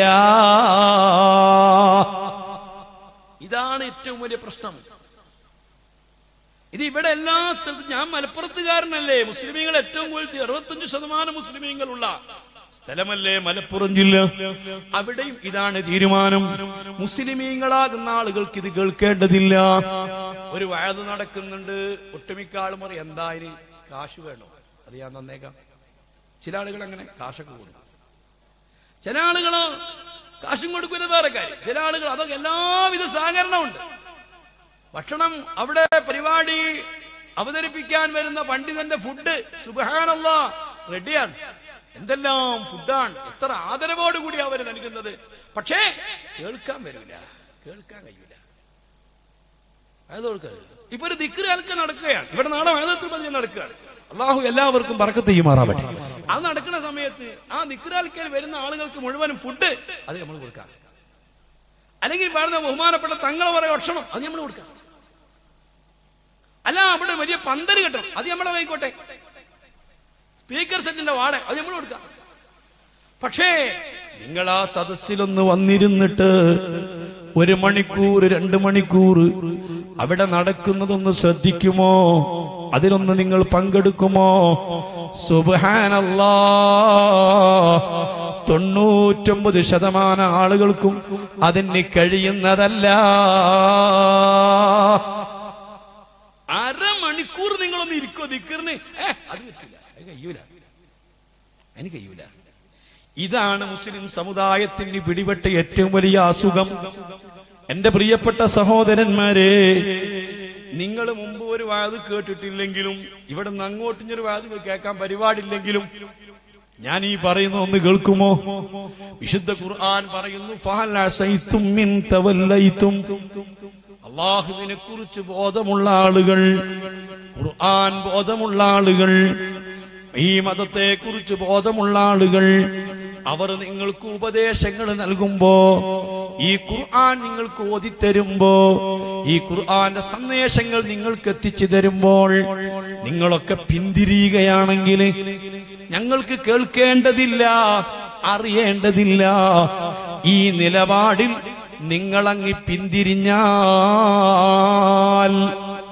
അതിന്റെ പ്രത്യാഘാതമായിട്ട് എന്താണ് ഇവിടെ സംഭവിക്കാൻ പോകുന്നത്? ഈ ആകാശം ഇടിഞ്ഞു പൊളിഞ്ഞ് താഴേക്ക് വീഴുമോ? ഇല്ല താഴേക്ക് വീഴുന്നതല്ല. ഈ ഭൂമിയെല്ലാം കുലുങ്ങിയിട്ട് ഇവിടത്തെ കെട്ടിടങ്ങളും ഇവിടത്തെ എല്ലാം എല്ലാം തകർന്ന് തരിപ്പണമാകുമോ? നിങ്ങളെ ബിസിനസ്സുകൾ തകർന്നു പോകുമോ? നിങ്ങളെ ജീവിതം ദുസ്സഹമാകുമോ? ഇല്ല ഇല്ല. നിങ്ങൾ അള്ളാഹുവിനെ കുറിച്ച് കേൾക്കാതിരുന്നാൽ വിശുദ്ധ ഖുർആൻ നിങ്ങൾ കേൾക്കാതിരുന്നാൽ പണ്ഡിതന്മാരെ ഉപദേശങ്ങൾ കേൾക്കാതിരുന്നാൽ ഞങ്ങൾക്കിതൊന്നും കേൾക്കേണ്ടതില്ല ഞങ്ങൾക്കിതൊന്നും അറിയേണ്ടതില്ല. ഈ നിലപാടോടുകൂടി മുസ്ലിം ഉമ്മത്ത് ഇതിൽ നിന്ന് പിന്തിരിഞ്ഞാൽ വരാൻ പോകുന്ന ഭവിഷ്യത്ത് വിശുദ്ധ ഖുർആൻ പറയുന്നു മക്കളെ ഫിൽ ഈ ഭൂമിയിൽ എല്ലാ സ്ഥലത്തും നിങ്ങൾ ഫസാദുകൾ ഉണ്ടാക്കും എല്ലാ മേഖലയിലും നിങ്ങൾ ഫസാദുകൾ ഉണ്ടാക്കും എല്ലാ എന്തൊക്കെ കാര്യങ്ങളുണ്ടോ അവിടെ മുഴുവനും നിങ്ങൾ പ്രശ്നങ്ങൾ ഉണ്ടാക്കും നിങ്ങൾ ഫസാദ് എന്ന് പറഞ്ഞ വാക്കിന്റെ അർത്ഥം എന്താണെന്നറിയോ? നിങ്ങൾ കേടുവരുത്തും. എല്ലാ സാധനങ്ങളും നിങ്ങൾ നശിപ്പിക്കും. ഇന്ന് ഈ ഭൂമിക്ക് മുകളിൽ ഏതെങ്കിലും ഒരു സാധനം കേടുവരാതെ അതിന്റെ പ്രകൃതി ദത്തമായ അതുകൊണ്ട് ഉദ്ദേശിക്കപ്പെടുന്ന രൂപത്തിൽ വിശ്വസിച്ചുകൊണ്ട് ഉപയോഗിക്കാൻ പറ്റുമോ? അല്ല ഒരു മാംസം നമുക്ക് കഴിക്കാൻ പറ്റുമോ? ഒരു ഭക്ഷണം വിശ്വസിച്ച് കഴിക്കാൻ പറ്റുമോ? വിശ്വസിച്ചുകൊണ്ട് ഒരു ബിസിനസ് നമുക്ക് നടത്താൻ പറ്റുമോ? വിശ്വസിച്ചുകൊണ്ട് ഒരാളോട് നമുക്ക് ബന്ധം സ്ഥാപിക്കാൻ പറ്റുമോ? ഒരാളുമായി നമുക്ക് ബന്ധം ബന്ധം സ്ഥാപിക്കാൻ ഒക്കുമോ ആരെങ്കിലും നമുക്ക് വിശ്വസിക്കാൻ പറ്റുമോ? സുബാനല്ലോ മാതാപിതാക്കൾക്ക് വിശ്വസിച്ചുകൊണ്ട് അവന്റെ മക്കളെ കൂടെ യാത്ര ചെയ്യാൻ പറ്റില്ല. മക്കളെ വിശ്വസിക്കാൻ മാതാപിതാക്കൾക്ക് കഴിയില്ല മക്ക മാതാപിതാക്കളെ വിശ്വസിക്കാൻ മക്കൾക്ക് കഴിയില്ല പ്രായമെത്തിയിരിക്കുന്ന സ്വന്തം പൊന്നുമോളെ പിതാവിന്റെ കൂടെ വിടാൻ ഉമ്മമാർക്ക് ധൈര്യമില്ല. ഉമ്മമാർക്ക് സാധ്യമല്ല. ഇതുപോലെ ആങ്ങളയുടെ കൂടെ പെങ്ങളെ വിടാൻ ധൈര്യമില്ല. അല്ലാ അല്ലാ നൊന്ത് പ്രസവിച്ച സ്വന്തം കുഞ്ഞിനെ ഉമ്മയുടെ കൂടെ വിട്ടയക്കാൻ ധൈര്യമില്ല. അധ്യാപകന്റെ കൂടെ തന്റെ ശിഷ്യ തന്റെ ശിഷ്യന്മാരെ പറഞ്ഞയക്കാൻ ധൈര്യമില്ല. ഞാൻ ചോദിക്കുന്നു ഈ ശബ്ദം കേട്ടിരിക്കുന്ന നിങ്ങൾ പറ ഏത് കാര്യം ഉറപ്പിക്കാൻ പറ്റും? നല്ല ഒരു ഫ്രൂട്ട്സ് കടയിൽ കയറിയിട്ട് ഒരു ഫ്രൂട്ട്സ് ഒരു മാങ്ങ വാങ്ങി കഴിക്കാൻ നിങ്ങൾക്ക് പറ്റുമോ? അല്ലാ ഒരു മത്സ്യം വാങ്ങി കഴിക്കാൻ നിങ്ങൾക്ക് പറ്റുമോ? ഒരു ഹോട്ടലിൽ കയറിയിട്ട് ഭക്ഷണം കഴിക്കാൻ നിങ്ങൾക്ക് പറ്റുമോ? വിശ്വസിച്ചുകൊണ്ട് കഴിക്കാൻ പറ്റുമോ? ഫസാദില്ലാത്ത മേഖല ഏതാണ്? ഫസാദില്ലാത്ത മേഖല ഏതാണ്? ഇന്ന് രാത്രി അവനെ എനിക്കറിയാൻ കഴിഞ്ഞത് അള്ളാ വിദേശ നാടുകളിൽ നിന്ന് നമ്മുടെ പ്രവാസികളായ സഹോദരന്മാര് എന്തെങ്കിലും അപകടത്തിൽ പെട്ടുകൊണ്ടോ അല്ലാതെയോ മരണപ്പെട്ടാൽ ആ മരണപ്പെട്ട ആ മനുഷ്യ മനുഷ്യന്റെ മൃതശരീരത്തെ വളരെയധികം ആവേശത്തോടെ താല്പര്യത്തോടെ ലക്ഷങ്ങൾ ചെലവഴിച്ചുകൊണ്ട് നാട്ടിലേത്തി എത്തിക്കുവാനാണ് നാട്ടിലാളുകൾ ബന്ധുക്കളും കുടുംബങ്ങളും സ്നേഹിതന്മാരും ശ്രദ്ധിക്കുന്നത്. അതേസമയം അതിനാണ് ചിന്തിക്കൊണ്ടിരിക്കുന്നത് ദിവസങ്ങളോളം ആ മയ്യത്ത് ആ മൃതശരീരം ഫ്രീസറിലോ മറ്റോ വെച്ചിട്ട് നാട്ടിലേക്ക് എത്തിക്കാൻ വേണ്ടി ശ്രമിക്കുകയാണ്. പക്ഷേ ആ മയ്യത്തി ഏതൊരു മൃതശരീരവും സഹോദര സഹോദരിമാര് ചിന്തിക്കണം. നമ്മളൊക്കെ അതിനു വേണ്ടി വല്ലാതെ താല്പര്യമെടുക്കുന്നവരാണ്. നമുക്ക് വേണ്ടപ്പെട്ടവർ നമ്മുടെ ഉറ്റവർ നമ്മുടെ ഉടയവർ നമുക്ക് വല്ലാതെ സ്നേഹം നൽകിയിട്ടുള്ളവർ. അവർ നമുക്ക് വേണ്ടി കഠിനാധ്വാനം ചെയ്ത് പ്രവാസ ജീവിതം നയിച്ച് അവിടെ വെച്ചുകൊണ്ട് എന്തോ കാരണവശാൽ അവർ മരിക്കേണ്ടി വന്നാൽ അവസാനം അതാ ഒന്ന് കാണാൻ വേണ്ടി ഒരു നോക്ക് കാണാൻ വേണ്ടി അവർ നാട്ടിലേക്ക് എത്തിക്കണമെന്ന് ഞാനും നിങ്ങളും ആഗ്രഹിക്കാറുണ്ട്. പക്ഷേ ഒരു ഡെഡ് ബോഡി നാട്ടിലേക്ക് കൊണ്ടുപോയി എംബാം ചെയ്യേണ്ടതുണ്ട്. അതിന് ചെയ്യുന്നത് എന്താ പ്രിയപ്പെട്ട പെങ്ങളെ നിന്റെ നിന്റെ ഭർത്താവിനെ നാട്ടിലേക്ക് എത്തിക്കണമെന്ന് നിർബന്ധിക്കുന്ന പെങ്ങളെ നിന്റെ പ്രിയപ്പെട്ട കൊച്ചാങ്ങളെ നാട്ടിലേക്ക് എത്തിക്കണമെന്ന് നിർബന്ധിക്കുന്ന പെങ്ങളെ നിന്റെ പ്രിയപ്പെട്ട മകനെ നാട്ടിലേക്ക് എത്തിക്കണമെന്ന് നിർബന്ധിക്കുന്ന ഉമ്മയും ഉപ്പയും അറിയണം. സുബഹാനല്ലാ ഈ മൃതശരീരത്തിലെ രക്തം മുഴുവനും ഊറ്റിയെടുത്തിട്ട് രക്തം മുഴുവനും വലിച്ചെടുക്കുകയാണ്. വലിച്ചെടുത്തിട്ട് പിന്നീട് ആൽക്കഹോൾ അങ്ങോട്ട് കയറ്റുകയാണ്. പച്ച മലയാളത്തിൽ പറഞ്ഞാൽ ഈ മൃതശരീരത്തിലേക്ക് കള്ള് കയറ്റുകയാണ് ജീവിതകാലത്ത് ഒരു തുള്ളി കള്ളു കുടിച്ചുകൂടാ. അത് നിഷിദ്ധമാ. അത് പാടില്ലാത്തതാ എന്നൊക്കെ പറഞ്ഞുകയും അതിനോട് വല്ലാതെ അകലം പാലിച്ച് ജീവിക്കുകയും ചെയ്ത ആളുകളെ പോലും മൃതശരീരത്തിലേക്ക് ആൽക്കഹോൾ കയറ്റുന്നു അങ്ങനെ ദിവസങ്ങളോളം വെച്ച് സൂക്ഷിക്ക ഫ്രീസറിലും മറ്റും വെച്ച് സൂക്ഷിക്കപ്പെടുന്നു. ഇതിന് മുഴുവനും കാരണമാകുന്നു. അല്ല അല്ലാ. ഈ മനുഷ്യനോട് ചെയ്യുന്ന എന്തൊരു ക്രൂരതയാണത്? എന്തൊരു തിന്മയാണത്? അതിനാ പെങ്ങളെ നീ വാശി പിടിച്ചത്. അതിനാണ് ഉപ്പമാരെ നിങ്ങൾ വാശി പിടിച്ചത്. അതിനാണ് ഉപ്പമാരെ ലക്ഷങ്ങൾ ചെലവഴിച്ചത്. അതിനായി മൃതശ ദിവസങ്ങളോളം മറവ് ചെയ്യാതെ കാത്തിവച്ചിരിക്കുന്നത്. അല്ലാ അല്ലാ ഞാൻ പറഞ്ഞത് ഏത് വിഷയത്തിലാ നമുക്ക് വിശ്വസിക്കാൻ പറ്റുന്നത്? അള്ളാഹു വിശുദ്ധ ഖുർആനിൽ പറഞ്ഞു ഈ ഖുർആന്റെ സന്ദേശങ്ങൾ നിങ്ങൾ കേൾക്കാൻ തയ്യാറാവാത്ത കാലം വരുമ്പോൾ പണ്ഡിതന്മാരെ ഉപദേശം കേൾക്കാൻ വരാത്ത കാലം വരുമ്പോൾ ഇൽമു ഞങ്ങൾക്ക് കേൾക്കേണ്ടതില്ല ഖുർആൻ ഞങ്ങൾക്ക് പഠിക്കേണ്ടതില്ല ഖുർആനെ കുറിച്ച് ഞങ്ങൾക്ക് അറിയേണ്ടതില്ല അല്ലെന്ന് പറഞ്ഞു എന്നറിയേണ്ടതില്ല. ആ കാലഘട്ടത്തിൽ ഈ ഭൂമിയുടെ മുഖത്തുള്ള ഭൂമുഖത്തുള്ള ഒരു കാര്യത്തിലും നിങ്ങൾ ഫസാദ് ഉണ്ടാക്കാതിരിക്കൂല. പാലസ്തീനിന്റെ മക്കൾ പാലസ്തീനിൽ മഹാന്മാരായ അമ്പിയാക്കൾ അന്ത്യവിശ്രമം കൊള്ളുന്ന നാടാ. അല്ല എത്ര മഹാരഥന്മാരാണ് അന്ത്യവിശ്രമം കൊള്ളുന്നത്? ബൈത്തുൽ മുഖദ്ദസ് എന്ന പള്ളിക്ക് ചുറ്റും എത്ര അമ്പിയാക്കളാ കിടക്കുന്നത്? ആ അമ്പിയാക്കൾ അന്ത്യവിശ്രമം കൊള്ളുന്ന അവരെ തലക്കുമീതേ മുസ്ലിം സഹോദരന്മാര് പന്ത് തട്ടിക്കളിക്കുകയാണ്. മുസ്ലിം കുട്ടികൾ പന്ത് കളിക്കുകയാണ്. അതേ സമയത്ത് അങ്ങകര ഈജിപ്തിൽ അറിയില്ലേ ഒരു കാലത്ത് അമേരിക്കക്കാരൻ ശാസ്ത്രം എന്താണെന്നറിയാത്ത കാലത്ത് അതിനെക്കുറിച്ച് ചിന്തിക്കാത്ത കാലത്ത് കക്കപെറുക്കി നടന്നിരുന്ന കാലത്ത് അതാ ഈജിപ്തിൽ ബഹുമാനപ്പെട്ട നമ്മുടെ പൂർവീകർ മുസ്ലിമീങ്ങൾ ഗോളശാസ്ത്രത്തിലും ജീവശാസ്ത്രത്തിലും സർവശാസ്ത്രത്തിലും പഠനം നടത്തിയിട്ട് റിസർച്ച് നടത്തിയിട്ട് വലിയ വിജ്ഞാനത്തിന്റെ വിപ്ലവം സൃഷ്ടിച്ച വലിയ സ്ഥാപനമാകുന്ന അതേ അൽ അസ്ഹർ യൂണിവേഴ്സിറ്റിയിൽ ആ യൂണിവേഴ്സിറ്റി അരികിലേക്ക് ഒന്ന് ചെന്ന് നോക്കൂ. അകത്തേക്ക് കടക്കാൻ പറ്റുമോ മുസ്ലിം വിശുദ്ധ ഖുർആാനും തിരുസുന്നത്തും റിസർച്ച് നടത്തിക്കൊണ്ടിരിക്കുന്ന മുസ്ലിമീങ്ങൾക്ക് അഭിമാനമാകുന്ന യൂണിവേഴ്സിറ്റിയുടെ ആ യൂണിവേഴ്സിറ്റിയിലേക്ക് ഇന്നലെ മുസ്ലിമിന് കടക്കാൻ പറ്റുമോ തോക്കുധാരികളായ പട്ടാളക്കാര് കാവൽ നിൽക്കുകയാ. എന്തേ? അവിടെ എൺപത് ശതമാനവും പഠിക്കുന്നത് ജൂതി കുട്ടികളാണ് ജൂതക്കുട്ടികളാണ് ജൂതന്മാരെ കുട്ടികളാണ്. അവർക്ക് ഖുർആൻ പഠിക്കണം അവർക്ക് ഹദീസ് പഠിക്കണം അതേ സമയത്ത് ഈ സമുദായത്തിന്റെ മക്കൾ പാലസ്തീനിലും മറ്റുമൊക്കെ പന്ത് തട്ടി കളിച്ചു കൊണ്ടിരിക്കുകയാണ് ഉമ്മത്തിന് ഖുർആൻ വേണ്ട. ഉമ്മത്തിന് ഇത് കേൾക്കേണ്ടതില്ല. ഉമ്മത്തിന് ഇത് പഠിക്കേണ്ടതില്ല. അതുകൊണ്ട് തന്നെ ഞാൻ ചോദിക്കുന്നു സഹോദര എന്തേ? ജൂതന്മാർക്ക് എന്തുകൊണ്ടാണ് ഖുർആൻ പഠിക്കാൻ ഇത്ര താല്പര്യം? ക്രിസ്ത്യാനിമാനി ക്രിസ്ത്യാനികൾക്ക് എന്താണ് ഇത്ര പഠിക്കാൻ താല്പര്യം? അവർക്കതിന്റെ കാര്യങ്ങൾ ബോധ്യപ്പെട്ടിട്ടുണ്ട്. ഈ സമുദായത്തെ ഈ സമുദായത്തെ ഫസാദാക്കണമെങ്കിൽ ഈ സമുദായത്തിന് ഏതെല്ലാം മേഖലകളിലും ഫസാദ് ഉണ്ടാക്കണമെങ്കിൽ യഥാർത്ഥത്തിൽ അത് പഠിച്ചിരിക്കണമെന്ന് ബോധ്യപ്പെട്ടതിനാൽ അവർ മുഴുവനും പഠിക്കുന്നു. അങ്ങനെ മുസ്ലിം ഉമ്മത്ത് എല്ലാ മേഖലകളിലും ഫസാദുകൾ ഉണ്ടാക്കുന്നു. സുബാൻ അല്ലാ കുഴപ്പങ്ങൾ ഉണ്ടാക്കുന്നതിന് കാരണം ഏത് ഭാഗത്തിൽ കൂടെയുള്ള കുഴപ്പമാണെങ്കിലും ഫസാദാണെങ്കിലും അതിന് വിശുദ്ധ ഖുർആൻ പറഞ്ഞ കാരണം ഇതാണ്. ഈ ഖുർആൻ നിങ്ങൾ കേൾക്കുന്നില്ല വിശുദ്ധ ഖുർആന്റെ സന്ദേശം അറിയുന്നില്ല. തീർന്നില്ല. അർഹാമക്കും. നിങ്ങളെ എല്ലാ ബന്ധങ്ങളും നിങ്ങൾ മുറിച്ചു കളയുന്നതാണ്. മാതാപിതാക്കളോട് നിങ്ങൾക്ക് പ്രത്യേകം ബന്ധമുണ്ടാവില്ല. മക്കളോട് നിങ്ങൾക്ക് പ്രത്യേകം കരുണയുണ്ടാവില്ല. അയൽവാസികളോട് പ്രത്യേകം കരുണയുണ്ടാവില്ല.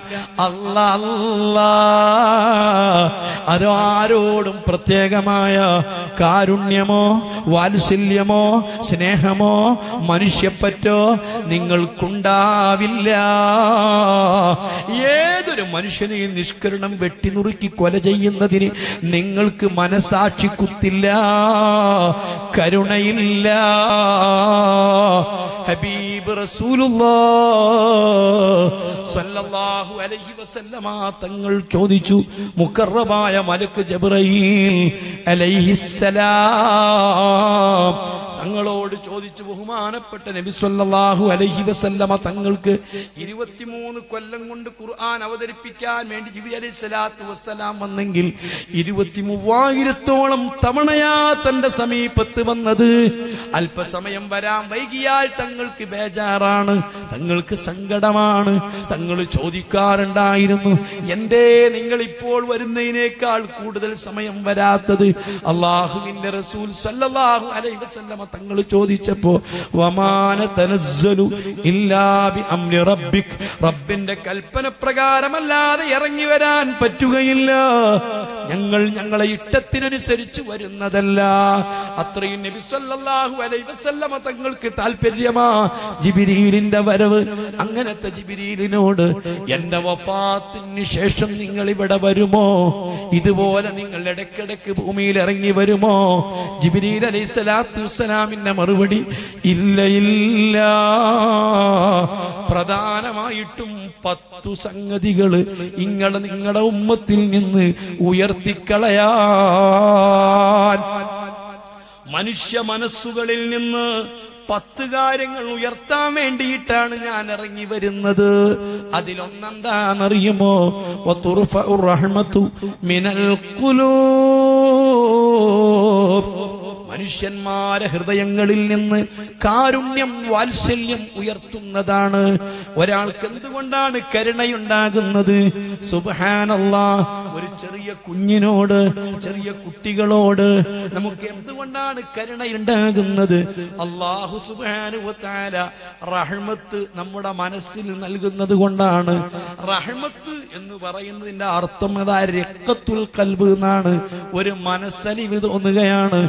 ഞാൻ ചോദിക്കട്ടെ ഒരു പാവപ്പെട്ട മനുഷ്യൻ ആ പാവപ്പെട്ട മനുഷ്യനതാ വിശപ്പിന്റെ കാഠിന്യം കൊണ്ട് കഥാ പട്ടിണി കൊണ്ട് പശിയടക്കാൻ ഗതിയില്ലാതെ അല്പം അരിയോ എന്തെങ്കിലും സാധനം എടുത്തിട്ട് ആ മനുഷ്യൻ ജീവന് വേണ്ടി ജീവൻ നിലനിർത്താൻ വേണ്ടിയിട്ട് കഷ്ടപ്പെട്ടിട്ട് എന്തെങ്കിലും ഒരു കാര്യം ഒരിക്കൽ എടുത്തു പോയി. അനുവാദമില്ലാതെ എടുത്തു പോയി. അല്ലെങ്കിൽ കട്ടെടുത്ത് പോയി. അതിന്റെ പേരിൽ ആ മനുഷ്യനെ നമ്മൾ ചോദ്യം ചെയ്യുമ്പോ ആ മനുഷ്യന്റെ ദയനീയമായിരുന്ന മുഖം ആ മനുഷ്യന്റെ ദയനീയമായ കണ്ണ് ആ മനുഷ്യന്റെ മനുഷ്യ പേക്കോലമാകുന്ന ശരീരം അത് കാണുമ്പോൾ അതിന് വേദന വരുമ്പോൾ വേദനിക്കുമ്പോൾ ആ മനുഷ്യനെ നിഷ്കരണം അടിച്ചു കൊല്ലുന്നുവെങ്കിൽ ആ അടിച്ചു കൊല്ലുന്നവരെ മനസാക്ഷി എങ്ങനെയുണ്ട്? അവരെ മനസ്സിന്റെ അവസ്ഥ എങ്ങനെയുണ്ട്? അണുമണിത്തൂക്കൻ രിക്കത്തുൽ കൽബവരെ ഹൃദയത്തിലുണ്ടോ? മനസ്സലിവ് ഉണ്ടോ? അത് എത്രയെത്ര സംഭവമാണ് ഞാൻ പലപ്പോഴും ഓർത്തു പോയിട്ടുണ്ട്. ഒരു അബ്ദുറഹിമാൻ എന്ന് പറയുന്ന ഒരു സഹോദരൻ ഇത് തൃശ്ശൂർ ജില്ലയിലാണ്. പന്ത്രണ്ട് മണി സമയത്ത് ജുമുഅക്ക് വേണ്ടി പോവുകയാണ്. ജുമുഅക്ക് വേണ്ടി പോകുന്നത് പള്ളിയിലേക്ക് ജുമ നിസ്കരിക്കാനാ. ആ ജുമ നിസ്കരിക്കാൻ പോകുന്ന അബ്ദുറഹിമാൻ തൊട്ടടുത്ത വീട്ടിലെ മുറ്റത്തിൽ കൂടി പോകുമ്പോ ആ വീട്ടിന്റെ സിറ്റ് ഔട്ടിലെ അതാ ഒരു കുട്ടി ചെറിയ ഒന്നര വയസ്സുള്ള ഷമീം എന്ന് പറയുന്ന ഒരു കുഞ്ഞിങ്ങനെ ചിരിച്ചോണ്ട് കളിച്ചോണ്ടിരിക്കുകയാണ് അങ്ങനെ ചിരിച്ച് കളിച്ചോണ്ടിരിക്കുമ്പോ സുബാനല്ല ഒന്നര വയസ്സാണ് എനിക്ക് ഓർമ്മ തോന്നുന്നത്. ഒന്ന് രണ്ട് വർഷം കഴിഞ്ഞു സംഭവം. ഉദാഹരണം പറഞ്ഞതാണ്. ആ ഒന്നര വയസ്സുള്ള കുഞ്ഞിനെ കണ്ടപ്പോൾ ആ കുഞ്ഞിന്റെ കഴുത്തിൽ ചെയിനുണ്ട് കയ്യിൽ വള സ്വർണത്തിന്റെ വളയുണ്ട്. ഇതെല്ലാം കണ്ടപ്പോ അബ്ദുറഹിമാൻ അങ്ങ് ചെന്നിട്ട് ഈ കുഞ്ഞിനെ വാരിയെടുക്കുകയാണ്. വാരിയെടുത്തപ്പോൾ ഈ കുഞ്ഞൊന്നും ശബ്ദിച്ചില്ല കരഞ്ഞില്ല. എന്തേ എപ്പോഴും കണ്ട് പരിചയമുള്ള മുഖമാണ്. കണ്ട് പരിചയമുള്ള മുഖമായതുകൊണ്ട് ഈ ഷമീമിനൊന്നും തോന്നിയില്ല കരഞ്ഞില്ല. പുഞ്ചിരിച്ചുകൊണ്ട് അതേ നിർമ്മലമായ പുഞ്ചിരിയോടുകൂടി ആ എടുത്തവന്റെ പിറകെ പോവുകയാണ്. അതേ അങ്ങ് ഗേറ്റ് അങ്ങ് കടന്നപ്പോൾ കുഞ്ഞങ്ങ് കരഞ്ഞു. കുഞ്ഞ് കരഞ്ഞപ്പോൾ ഈ അബ്ദുറഹിമാൻ എന്ന് പറയുന്ന മനുഷ്യൻ ചെയ്തതെന്താണ്? ആ കുഞ്ഞിന്റെ വായും മൂക്കും ഒരൊറ്റപ്പെടുത്തം. ഞാൻ ചോദിക്കുന്നു സഹോദര നിങ്ങൾക്കൊക്കെ മനസാക്ഷി ഉണ്ടെങ്കിൽ ചിന്തിക്ക്. അതങ്ങ് മുറുകെ പിടിക്കുമ്പോൾ ആ കുഞ്ഞിന്റെ കണ്ണെങ്ങനെയുണ്ടാകും? ആ കുഞ്ഞിന്റെ കൈ എങ്ങനെ പെടയുന്നുണ്ടാകും?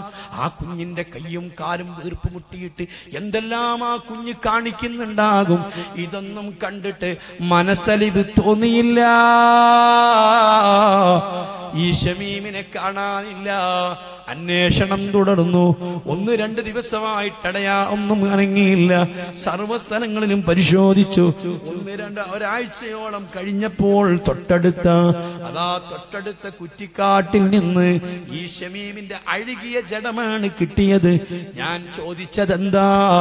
ഈ കുഞ്ഞിന്റെ ആ രംഗം കാണുമ്പോ സ്വന്തം കയ്യിൽ കിടന്ന് പെടയുന്നത് കാണുമ്പോ ശ്വാസത്തിന് വേണ്ടി കെഞ്ചുന്നത് കാണുമ്പോ കണ്ണുകൾ തുറിക്കുമ്പോ ഈ മനുഷ്യന്റെ മനസ്സിൽ അലിവ് തോന്നിയില്ലല്ലോ. മിനൽ മനുഷ്യന്റെ മനസ്സിൽ നിന്ന് റഹ്മത്ത് ഉയർക്കപ്പെട്ടു പോയി. ഇങ്ങനെ എത്ര സംഭവങ്ങൾ അള്ളാ സുബാന ലോകാടിസ്ഥാനത്തിൽ നോക്കുമ്പോൾ ഇന്ന് സിറിയയിലും പലസ്തീനിലും ലോകത്തിന്റെ പല ഭാഗത്തും ജീവന് വേണ്ടിയിട്ട് സ്വന്തം ഉമ്മയെ പിടിച്ചുകൊണ്ട് ചെറിയ കുഞ്ഞുങ്ങൾ തോക്കിന് മാറുമ്പോൾ മാറിക്കളിക്കുമ്പോൾ ആ കുഞ്ഞിന്റെ വായിലേക്ക് നിറയൊഴിക്കുമ്പോൾ സുബാനല്ല എന്താണ് മനുഷ്യന്റെ മനസ്സിലുള്ളത്? ഒന്നുമല്ല മിനൽ ഖുലൂബ്. തീരെ കരുണ മനുഷ്യന്റെ മനസ്സിലില്ല. മനുഷ്യന്റെ മനസ്സെന്നത് ഉയർത്തപ്പെട്ട് പോവുകയാണ്. നിങ്ങൾ കാട്ടിലെ മൃഗങ്ങളെ കുറിച്ച് ചിന്തിച്ചു നോക്കൂ. കാട്ടിലെ മൃഗങ്ങൾ ക്രൂര ഹിംസ ജന്തുക്കളാണ് ഏതിനെയും അവർക്ക് കാരുണ്യമില്ലാതെ മലയൂട്ടിക്കൊണ്ടിരിക്കുന്ന ഞാൻ ഓർത്തു പോകുന്നു പ്രസവിക്കപ്പെട്ട ഒരു മാൻപേട. ആ മാൻപേടയുടെ കുഞ്ഞിങ്ങനെ നിൽക്കുന്ന വീണും എഴുന്നേറ്റും വീണും എഴുന്നേറ്റും. ആ മാൻപേടയുടെ തള്ളയുടെ അവിട്ടിലേക്ക് പാൽ കുടിക്കാൻ വേണ്ടി പോകുമ്പോഴാണ് ഒരു പുലിയുടെ ശ്രദ്ധയിൽപ്പെടുന്നത്. ആ പുലി പാഞ്ഞു വന്നപ്പോൾ ഈ തള്ളമാനുകളൊക്കെ ഒളി അതാ ഓടിപ്പോകുന്നു. ഈ കുഞ്ഞു മാത്രം അവിടെ നിൽക്കുന്നു. ഈ കുഞ്ഞിന്റെ കഴുത്തിൽ കടിക്കുവാനും രക്തം കുടിക്കുവാനും ഒരിക്കലും പുലിക്ക് കരുണ തോന്നാറില്ല. മനസ്സലിവ് തോന്നാറില്ല. അതാണല്ലോ പുലിയുടെ കൽബ്. അങ്ങനത്തെ പുലിയാണെങ്കിലും പുലിയുടെ കുഞ്ഞിനോട് അതിന്റെ കുഞ്ഞിനോട് എന്തൊരു വാത്സല്യമാ? അതിന്റെ കുഞ്ഞിനോട് എന്തൊരു കരുണയാ? അതിന്റെ കുഞ്ഞുങ്ങളെ വേദനിപ്പിക്കാറില്ല. അതിന്റെ കുഞ്ഞുങ്ങളെ ദ്രോഹിക്കാറില്ല. അതേ സമയത്ത് മനുഷ്യനോ അവൻ സ്വന്തം കുഞ്ഞിനെ ദ്രോഹിക്കുന്നു. സ്വന്തം കുഞ്ഞിനെ കഴുത്ത് ഞെരിച്ച് കൊല്ലുന്നു. സ്വന്തം കുഞ്ഞിന്റെ മുഖത്തേക്ക് തിളച്ച വെള്ളമൊഴിക്കുന്നു. സ്വന്തം കുഞ്ഞിനെ നിഷ്കരണം വധിക്കുന്നു. സുബാനല്ലാ മനുഷ്യന്റെ കൽബിൽ നിന്ന് അള്ളാഹു ഉയർത്തുന്നു. ആഹ്റസമാനിലെ മക്കളെ എന്റെ ശബ്ദം കേൾക്കുന്ന മുസ്ലിമീങ്ങളോട് ഞാൻ ചോദിക്കുന്നു നമുക്കൊക്കെ ഈ നാട്ടിൽ ജീവിക്കണ്ടേ? നമ്മുടെ കുട്ടികൾക്ക് ജീവിക്കണ്ടേ? സമാധാനത്തോടു കൂടി ജീവിക്കണ്ടേ? സമാധാനത്തോടു കൂടി ജീവിക്കണമെങ്കിൽ നമ്മുടെ കുട്ടികളെ വീട്ടിൽ നിന്ന് പുറത്തിറക്കണമെങ്കിൽ അവർക്ക് സ്കൂളിലും മദ്രസയിലും പോകണമെങ്കിൽ ഇവിടേക്ക് ജീവിക്കണമെങ്കിൽ ഓരോ മനുഷ്യനും മനുഷ്യപ്പറ്റ് ഉണ്ടാവണം. ഈ മനുഷ്യപ്പറ്റ് മനുഷ്യ കൽബിൽ നിന്ന് ഉയർത്തപ്പെടാൻ കാരണം ഖുർആൻ പറഞ്ഞത് അൻതുസ്തിദൂ ഫിൽ അർളി വതുഖത്തിഉ അർഹാമക്കും. നിങ്ങളെ എല്ലാ ബന്ധങ്ങളും റഹ്മത്തും മുറിഞ്ഞു പോകുന്നത് അതിന് കാരണം ഇത് കേൾക്കാത്തതാ. റബ്ബിന്റെ സന്ദേശങ്ങൾ കേൾക്കാത്തതാ. വിശുദ്ധ ഖുർആൻ നിങ്ങൾ കേൾക്കാത്തതാ. ഇത് നിങ്ങൾ അവഗണിച്ചതാ. ഈ ഖുർആനും ഖുർആന്റെ സന്ദേശങ്ങളും കേൾക്കണ്ട എന്ന് പറഞ്ഞ് അവഗണിക്കുന്ന കാലത്തോളം ഈ ഉമ്മത്ത് മനുഷ്യന് ഹൃദയത്തിൽ കാരുണ്യം ഉണ്ടാവില്ല മനുഷ്യ മനുഷ്യപ്പറ്റുണ്ടാവില്ല. സുബ്ഹാനല്ലാ. അതേ സമയത്ത് അള്ളാഹുവിന്റെ ഖുർആൻ കേൾക്കുന്നവരും അത് ശ്രദ്ധിക്കുന്നവരും അത് പഠിക്കുന്നവരും അതിനു വേണ്ടിയിട്ട് ചടഞ്ഞുകൂടുന്നവരും ഖുർആൻ പഠിക്കുന്നൊരു ഇങ്ങൊരു പരിസരത്തുണ്ടാകുമ്പോ ആ പരിസരത്തുള്ള ജനങ്ങളിൽ മുഴുവനും മനുഷ്യപ്പറ്റുണ്ടാകുന്നതാണ് കാരുണ്യമുണ്ടാകുന്നതാണ്. അത് പഠിക്കുന്നവർക്ക് മാത്രമല്ല പഠിപ്പിക്കുന്നവർക്ക് മാത്രമല്ല അതിന്റെ പരിസരത്തുള്ളവർക്ക് മുഴുവനും തന്നെ. ഏത് മതത്തിൽപ്പെട്ടവരാണെങ്കിലും അവരെ ഹൃദയത്തിലെല്ലാം ഈ കാരുണ്യം ഉണ്ടാകുന്നതാണ് റബ്ബത് നിലനിർത്തുന്നതാണ്. അപ്പോൾ അതേ സമയത്ത് അത് അവഗണിച്ചാൽ അള്ളാഹു സുബാനത്തെ റഹമത്ത് ഉയർത്തുമെന്ന് മാത്രമല്ല ഉലായിക ലഅനഹുമുല്ലാഹ് അള്ളാഹുവിന്റെ ഖുർആൻ കേൾക്കേണ്ടതില്ല ഈ സന്ദേശം അറിയേണ്ടതില്ല. ഇതൊന്നും ഞങ്ങൾക്ക് വേണ്ട. ഈ നിലപാടുള്ള ആളുകൾക്ക് പടച്ച റബ്ബിന്റെ ലയനത്തുണ്ട്. അള്ളാന്റെ റഹിമത്തല്ല. അള്ളാഹുവിന്റെ ശാപമുണ്ടാകുന്നതാണ്. എന്റെ ശബ്ദം കേൾക്കുന്ന ഉമ്മമാരോട് ഉപ്പമാരോട് ചെറുപ്പക്കാരോട് സഹോദരങ്ങളോട് എവിടെയെല്ലാം എന്റെ ഈ ശബ്ദം കേൾക്കുന്നുണ്ട് എല്ലാവരോടും ഓർമ്മപ്പെടുത്തുകയാണ്. നിങ്ങൾക്ക് അംഗീകാരമുള്ള പണ്ഡിതന്മാരില്ലേ? നിങ്ങൾ ഉൾക്കൊള്ളുന്ന പണ്ഡിതന്മാരില്ലേ? ചോദിക്കുക സൂറത്ത് മുഹമ്മദിൽ ഇങ്ങനെ ഒരു ആയത്തില്ലേ? എന്താ റബ്ബ് പറയുന്നത്? അള്ളാഹുവിന്റെ ലയനത്തുണ്ട് എന്നാണ്. അള്ളാഹിന്റെ ശാപമുണ്ട് എന്നാണ്. അള്ളാഹുവിന്റെ ശാപം എന്ന് പറഞ്ഞാൽ ഒരാൾക്ക് റബ്ബിന്റെ ലൈനത്ത് കിട്ടിയാൽ അതെങ്ങനെയാ മോനെ തിരിച്ചറിയുന്നത്? അള്ളാന്റെ ലൈനത്ത് എന്ന് പറയുന്നത് മാരക രോഗമുണ്ടാവലല്ല. മാരകമായ രോഗം കൊണ്ട് പരീക്ഷിക്കപ്പെടലല്ല. അള്ളാഹുവിന്റെ അയനത്ത് ഒരാളെ മുഖത്ത് തെളിഞ്ഞു കാണുകയില്ല. ലൈനത്തതാ ഒരു കരി കരി കല പോലെ കാണാൻ കഴിയില്ല. അതിന് മഴ പോലെ തെളിഞ്ഞു നിൽക്കുകയില്ല. അള്ളാഹുവിന്റെ അയനത്ത് കിട്ടുക. അല്ല ഒരാൾ ശപിക്കുക എന്നതിന്റെ അർത്ഥം എന്താണ്? മുഹമ്മദുർ സഹോദരന്മാരെ ബക്കറ്റ് വരുന്നുണ്ട് നമ്മുടെ സഹോദരന്മാർ. ഈ മഹത്തായ പരിപാടി സംഘടിപ്പിച്ചതിൽ ഒരുപാട് നല്ല ലക്ഷ്യങ്ങളുണ്ട്. അതുകൊണ്ട് നാളെ ബഹുമാനപ്പെട്ട ബായാറ് തങ്ങളുടെ നേതൃത്വത്തിൽ സ്വലാത്തും ദുആഉമുണ്ട് കേരളത്തിലും കേരളത്തിന്റെ പുറത്തും എല്ലാ സ്ഥലത്തും പതിനായിരക്കണക്കിന് ആളുകൾ സമാധാനത്തിന് വേണ്ടി പ്രശ്നപരിഹാരത്തിന് വേണ്ടി മഹാനായ ഭയാർത്ഥങ്ങളുടെ പ്രാർത്ഥനയാണല്ലോ. ആശ്രയിച്ചുകൊണ്ടിരിക്കുന്നത് ആ ഭയാർത്ഥങ്ങൾ നാളെ അവിടെ വരുന്നുണ്ട്. ഞങ്ങൾ ഉപ്പാപ്പയുടെ ദ്വാൾ ഇവിടെ ഉണ്ടാകും. എല്ലാവരും നല്ലപോലെ സതക്ക നൽകണം. ഇന്ന് പ്രവർത്തകർ നിങ്ങൾക്ക് കവർ തരും. ആ കവറിൽ അവനവനെ കൊണ്ട് കഴിയുന്ന അത്ര സതക്ക നൽകി നാളെ നിങ്ങളുടെ പ്രത്യേക ഉദ്ദേശങ്ങൾ എഴുതി കവറിൽ അറിയിച്ച് ആ പ്രാർത്ഥനയിൽ പങ്കെടുത്ത് സഹകരിക്കണമെന്ന് ഓർമ്മപ്പെടുത്തുന്നു. ഇന്നും നിങ്ങളുടെ മുൻപിൽ ബക്കറ്റുമായി വരുന്ന സഹോദരന്മാരോട് നിങ്ങൾ സഹകരിച്ച് സതക്ക നൽകണമെന്ന് ഒറ്റ വാക്കിൽ ഉറപ്പെടുത്തുകയാണ്. ഞാൻ വളരെ കുറഞ്ഞ സമയമേ ഉള്ളൂ. അതുകൊണ്ട് ആ കാര്യം നിങ്ങളുടെ ശ്രദ്ധയിൽപ്പെടുത്തുന്നു. സഹോദരന്മാരെ ഞാൻ പറയുന്നു അള്ളാഹുവിന്റെ ലഅനത്ത് ഒരു മനുഷ്യന് കിട്ടുക എന്ന് പറഞ്ഞതിന്റെ അർത്ഥം എന്താണ്? നമുക്കൊക്കെ വേണ്ടത് റഹമത്താണ്. നമ്മളൊക്കെ റഹമത്തുല്ലാഹി അലഹി എന്നല്ല പറഞ്ഞു അള്ളാഹിന്റെ റഹമത്ത് ഉണ്ടാവട്ടെ. അള്ളാഹ് റഹ്മത്ത് ചെയ്യട്ടെ അള്ളാഹു തല ബറക്കത്ത് ചെയ്യട്ടെ എന്നൊക്കെയാണ് നമ്മൾ പറയാറുള്ളത്. അതേ സമയത്ത് നമ്മൾ ചിലപ്പോൾ ലൈനത്തുല്ലാഹി അലൈ പറയലായിരിക്ക ഇബിലീസിന്റെ പേര് കയറി നമ്മൾ പറയും ലൈനത്തുല്ലാഹി അലഹി എന്ന് പറയാറുണ്ട്. ഇബിലീസിന്റെ പേര് കേൾക്കുന്ന സമയത്ത് ഒരാൾ ലൈനത്തുല്ലാഹി അലഹി എന്ന് പറഞ്ഞില്ലാന്ന് വെച്ചിട്ട് കുഴപ്പമൊന്നുമില്ല കേട്ടോ. അങ്ങനെ പറയാൻ നിർബന്ധമൊന്നുമില്ല. അതേപോലെ തന്നെ അള്ളാഹുത്താൽ വിശുദ്ധ ഖുർആാനിൽ ശപിക്ക ശപിച്ചിട്ടുള്ള ചില ആളുകളുണ്ട്. അവർക്ക് നമ്മൾ ലയനത്ത് കൊണ്ട് പറയാറുണ്ട്.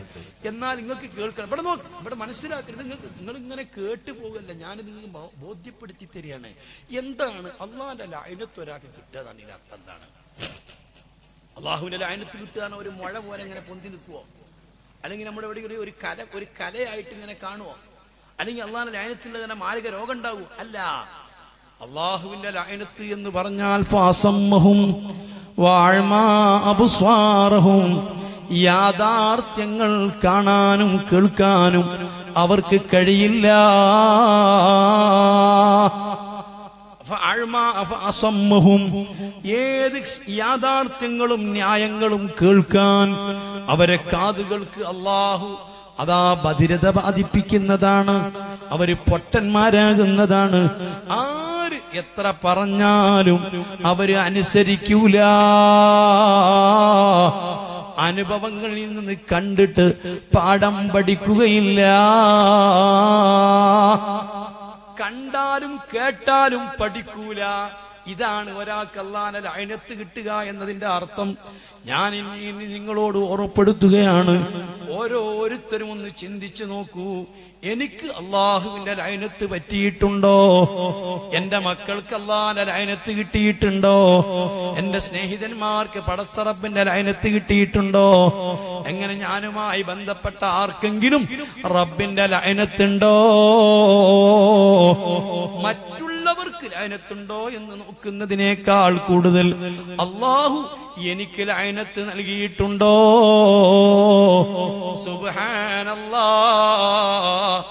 ജീവിതത്തിൽ എത്രയോ പാഠങ്ങൾ അനുഭവിച്ചിട്ട് എത്രയോ പാഠങ്ങൾ ഉണ്ടായിട്ട് അതൊന്നും ഉൾക്കൊണ്ടിട്ട് പഠിക്കുന്നില്ല കേൾക്കുന്നില്ല ചെവി കൊടുക്കുന്നില്ല.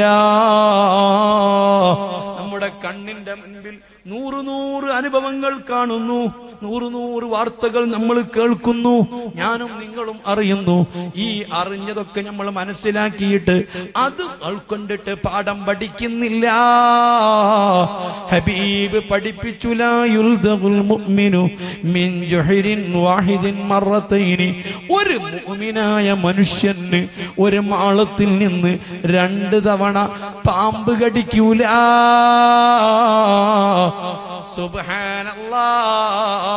ഈ മഹല്ലത്തിൽപ്പെട്ട ഒരു മുഹമ്മദ് എന്ന് പറയുന്ന ഒരു സഹോദരൻ മകര് നിസ്കരിച്ച് വീട്ടിലേക്ക് പോകുമ്പോ ഒരു മാളത്തിൽ നിന്ന് കാൽ വെച്ച സമയത്ത് പാമ്പ് കടിച്ചു.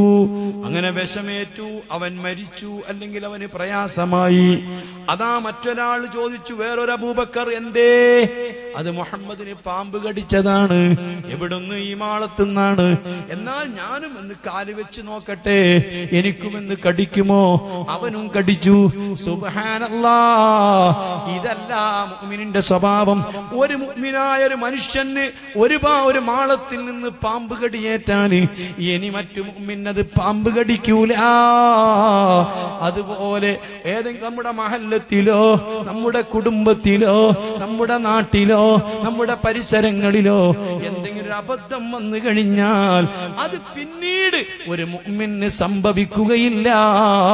അത് അനുഭവത്തിൽ നിന്നും കേട്ടതിൽ നിന്നും കണ്ടതിൽ നിന്നും പാഠം പഠിക്കുന്നവരാണ് മുഅ്മിനീങ്ങൾ അതാണ് മുസ്ലിമീങ്ങൾ അതേ സമയത്ത് എത്ര കണ്ടാലും കേട്ടാലും പഠിക്കാതിരിക്കുന്നത് അള്ളാഹുവിന്റെ ലയനത്ത് കിട്ടി എന്നതിന് തെളിവാണ്. നിങ്ങൾ ചിന്തിച്ചു നോക്കൂ ഏതെല്ലാം വിഷയങ്ങളിലാണ് നമ്മുടെ മക്കളെ വളർത്തുന്നതിൽ മക്കൾക്ക് പഠി മക്കളെ പഠിപ്പിക്കുന്നതിൽ മക്കളെ നമ്മുടെ അവരുടെ വേഷവിധാനങ്ങളിൽ ഏതൊരു കാര്യമെടുത്ത് പരിശോധിച്ചാലും ഓരോ അനുഭവങ്ങളിൽ നിന്നുണ്ടായിട്ട് അത് പിന്നീട് നമ്മൾ പാഠം ഉൾക്കൊണ്ടിട്ട് നമ്മുടെ ജീവിതത്തെ തിട്ടപ്പെടുത്തുന്നില്ല. നന്നാകുന്നില്ല. മാറ്റങ്ങൾ വരുന്നില്ല. ഇത് അള്ളാഹു എന്നെയും നിന്നെയും ഒക്കെ ശപിച്ചിരിക്കുന്നു എന്നതിന്റെ അടയാളമാണ്.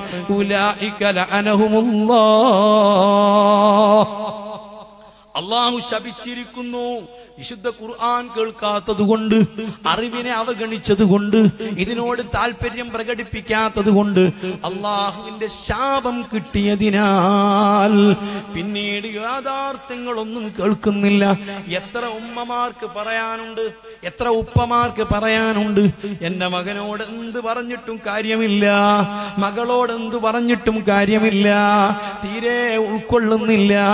ഉപദേശങ്ങൾ ഫലിക്കുന്നില്ല. യഥാർത്ഥത്തിൽ അതിന്റെ പേരാണ് അള്ളാഹുവിന്റെ ശാപം ഉണ്ടാവുക എന്നത്. ഞാൻ എന്റെ പ്രിയപ്പെട്ട മുഗ്മിനീങ്ങളോട് മുഗ്മിനാത്തുകളോട് ഈ രൂപത്തിൽ നമുക്ക് അള്ളാഹുവിന്റെ ശാപം കിട്ടിയാൽ മക്കളെ നമുക്ക് രക്ഷപ്പെടാൻ പറ്റുമോ?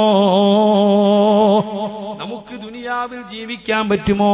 ആഹിറം പിന്നെയല്ലേ? മഹാനരായ സ്വാദിക്കുൽ മസ്തൂക്ക് മുത്തു മുഹമ്മദ് റസൂലുള്ളാഹി. സ്വല്ലല്ലാഹു അലൈഹി വസല്ലമ തങ്ങൾ പഠിപ്പിച്ച ഒരു ഹദീസ് കൂടി നിങ്ങളെ ശ്രദ്ധയിൽപ്പെടുത്തുന്നു. അള്ളാഹു ബഹുമാനപ്പെട്ട അബുദ്ദർദാ റളിയല്ലാഹു അൻഹു തങ്ങളിൽ നിന്നാണ് നിവേദനം. അവിടുന്ന് പറയുന്നു അള്ളാഹുവിന്റെ റസൂൽ പറയുന്നത് ഞാൻ കേട്ടു. യഖൂലുല്ലാഹു തആല അല്ലാഹു തആല പറയുകയാണ് അന മലിക്കുൽ മുലൂക്കി. ഈ നോട്ട് ഭൂമിയിലുള്ള എല്ലാ ഭരണാധികാരികളെയും ഭരിക്കുന്ന ഭരണാധികാരി ഞാനാണ്. ഞാനാണ് രാജാതിരാജൻ രാജാക്കൾക്ക് രാജാവ് ഞാനാണ്. മാത്രമല്ല ബിയതിയിൽ മുൽക്കു. എന്റെ കയ്യിലാണ് അധികാരം. അധികാരം നൽകുന്നത് ഞാനാണ്. ഭരണത്തിൽ ഉയർത്തുന്നത് ഞാനാണ്. ഭരണത്തിൽ നിന്ന് ഇറക്കുന്നത് ഞാനാണ്. ഓരോ മനുഷ്യന്റെയും ഹൃദയം എന്റെ കയ്യിലാണ്. പടച്ചറബല്ലേ സർവം നിയന്ത്രിക്കുന്നത്? ഞാനും നിങ്ങളും വിശ്വസിക്കുന്നത് എന്താണ്? രാഹുല വരാ കൂവത്ത ഇല്ലാ സംഭവിക്കുന്ന സർവ കാര്യങ്ങളും അള്ളാഹുവിന്റെ ഇതിന് കൊണ്ടാണ്. അള്ളാഹുവാണ് സംഭവിപ്പിക്കുന്നത്. ഒരാൾ നമ്മളെ സഹായിക്കുന്നത് സഹായിക്കാൻ അവനെ തോന്നിപ്പിച്ചത് അള്ളാഹുവാണ്. ഒരാൾ നമുക്ക് വല്ലതും നൽകുന്നുവെങ്കിൽ അവന് നൽകാൻ അവന് തോന്നിപ്പിച്ചത് അള്ളാഹുവാണ്. അവന് കഴിവ് കൊടുത്തത് അള്ളാഹുവാണ്. ഒരാൾ നമ്മെ ചീത്ത പറഞ്ഞെങ്കിൽ അവനെ ചീത്ത പറയാൻ കഴിവ് കൊടുത്തത് അള്ളാഹുവാണ്. അവനെ അതിന് തോന്നിപ്പിച്ചത് അള്ളാഹുവാണ്. എല്ലാ രാജാക്കന്മാരുടെയും മനസ്സ് മുലൂക്കി നാട് ഭരിക്കുന്ന ഭരണാധികാരികളുടെ അധികാരികളുടെ ഹൃദയ ഹൃദയങ്ങളെല്ലാം എന്റെ അധീനത്തിലാ എന്റെ നിയന്ത്രണത്തിലാ. ഹബീബായ മുഹമ്മദ് റസൂലുള്ളാഹി സ്വല്ലല്ലാഹു അലൈഹി വസല്ലമ തങ്ങൾ പല അല്ലാഹു തആല പറയുകയാണ് അതുകൊണ്ട് ഇന്ന ഇന്ന- ഇന്നൽ ഇബാദ ഇദാ താഊനി എന്റെ അടിമകൾ എന്റെ അടിമകൾ അവർ എനിക്ക് അനുസരിക്കുകയും എന്റെ നിർദ്ദേശങ്ങൾ അവർ പാലിക്കുകയും എന്റെ ജനങ്ങൾ അവർ കേൾക്കുകയും അനുസരിച്ച് ജീവിക്കുമ്പോൾ അതാ ഞാൻ എന്റെ സറഫത്തു കുലൂബ മുലൂക്കിയും അവരെ ഭരിച്ചിരി അവരെ ഭരിച്ചുകൊണ്ടിരിക്കുന്ന അവരെ നിയന്ത്രിച്ചു കൊണ്ടിരിക്കുന്ന അവരുടെ ഭരണാധികാരികളെ ഹൃദയങ്ങളെ അവരിലേക്ക് ഞാൻ തിരിക്കും. അധികാരികൾക്ക് അവരോട് സ്നേഹമുണ്ടാകും അവരോട് കാരുണ്യമുണ്ടാകും അവരോട് വാത്സല്യമുണ്ടാകും അതേ സമയത്ത്. എന്റെ ജനങ്ങൾ എന്റെ അടിമകൾ എന്റെ കൽപ്പനക്കെതിരു ചെയ്താൽ എനിക്ക് ധിക്കാരം ചെയ്താൽ ഞാൻ വിരോധിച്ച കാര്യങ്ങൾ മാത്രം അവർ ചെയ്താൽ എന്റെ എല്ലാ നിയമങ്ങളും അവർ അതിരുവരമ്പുകളും കാറ്റിൽ പറത്തിയാൽ എല്ലാം പടച്ചറബിന്റെ കൽപ്പനക്കെതിരി ചെയ്താൽ മതത്തിന്റെ നിർദ്ദേശങ്ങൾക്കെതിരി ചെയ്താൽ അള്ളാന്റെ ഖുർആൻ മറഞ്ഞതിന് എതിരി ചെയ്താൽ ഞാൻ മുലൂക്കിയും അവരുടെ അവരെ ഭരിച്ചുകൊണ്ടിരിക്കുന്ന ഭരണാധികാരികളുടെ കൽബ് ഞാൻ അവർക്കെതിരിൽ തിരിക്കുന്നതാണ്. വളരെ ദേഷ്യം കൊണ്ടും അക്രമം കൊണ്ടും സുബ്ഹാനല്ലാ അതാണ് സിറിയയിൽ കണ്ടുകൊണ്ടിരിക്കുന്നത് അതാണ് ഇറാഖിൽ കണ്ടുകൊണ്ടിരിക്കുന്നത് അതാണ് നമുക്ക് റോഹിംഗ്യൻ മുസ്ലിമീങ്ങളിൽ കണ്ടുകൊണ്ടിരിക്കുന്നത് അതാണ്.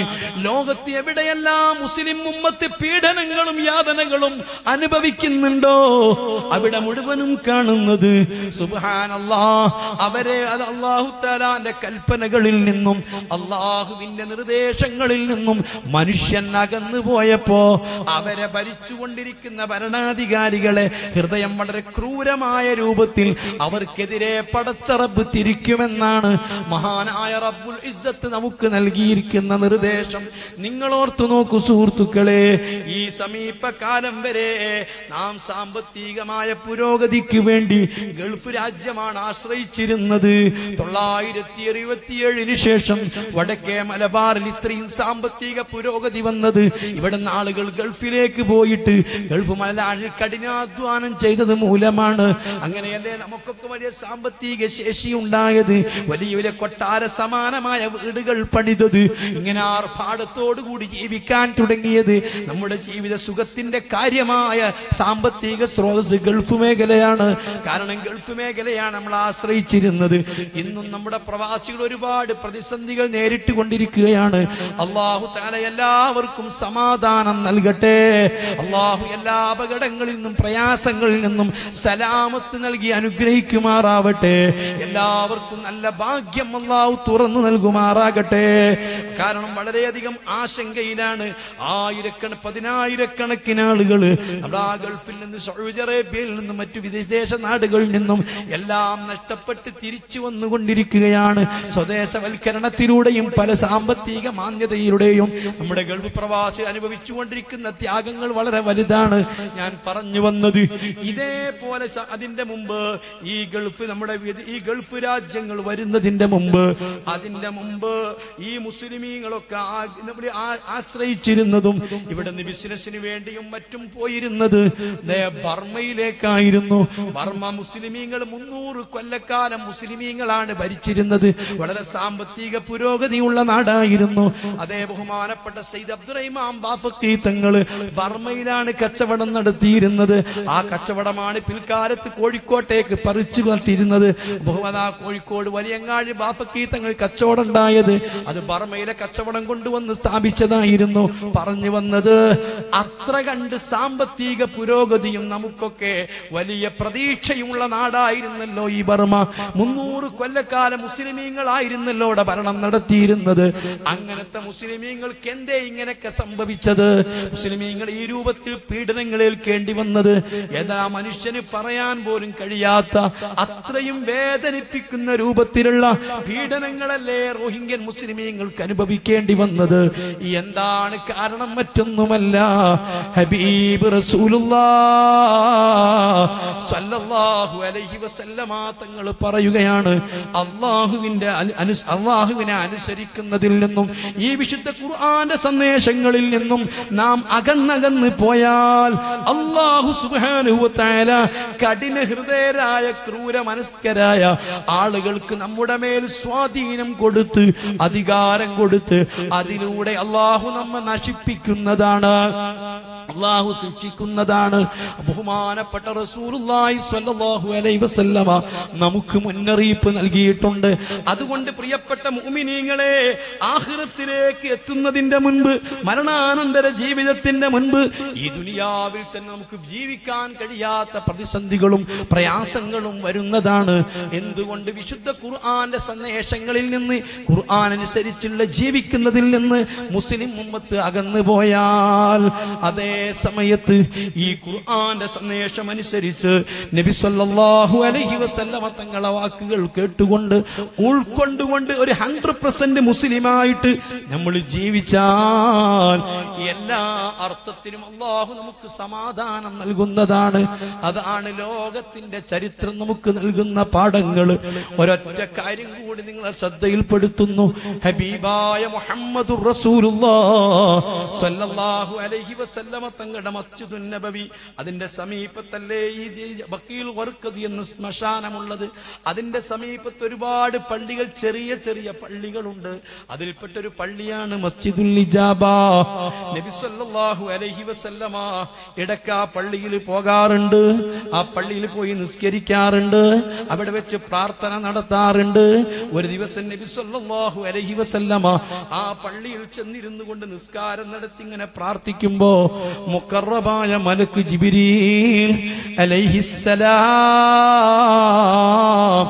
വന്നുകൊണ്ട് തങ്ങൾക്കൊരു ആയത്ത് ഓതി കേൾപ്പിക്കുകയാണ്. قل هو القادر على يبعث عليكم عذابا من فوقكم أو من تحت أرجلكم أو يلبسكم شيعا فيذيق بعضكم بأس بعض അതേ വിശുദ്ധ ഖുർആനിൽ കൂടി ബഹുമാനപ്പെട്ട മുത്തുനബിയോട് കുൽ തങ്ങൾ ഉമ്മത്തിന് പറഞ്ഞു കൊടുക്കുക അങ്ങയുടെ സമുദായത്തിന് പറഞ്ഞു കൊടുക്കുക ഹുവൽ ഖാദിറു അലാ അൻ യബ്അസ അലൈക്കും അദാബൻ മിൻ ഫൗഖിക്കും നിങ്ങൾ അല്ലാഹുവിന്റെ സന്ദേശം ഉൾക്കൊള്ളാത്ത കാലത്ത്.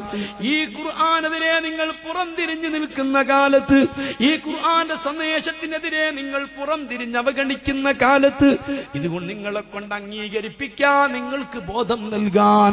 നിങ്ങളെ മേൽഭാഗത്തിൽ കൂടി ശക്തമായ ശിക്ഷ നിങ്ങളിലേക്ക് അയക്കാൻ എനിക്ക് കഴിയുന്നതാണ്. മധ്യപൗരസ്ത്യ ദേശത്ത് എത്രയാണ് പടച്ച റബ്ബ് അങ്ങനെ നശിപ്പിച്ചിട്ടുള്ളത്?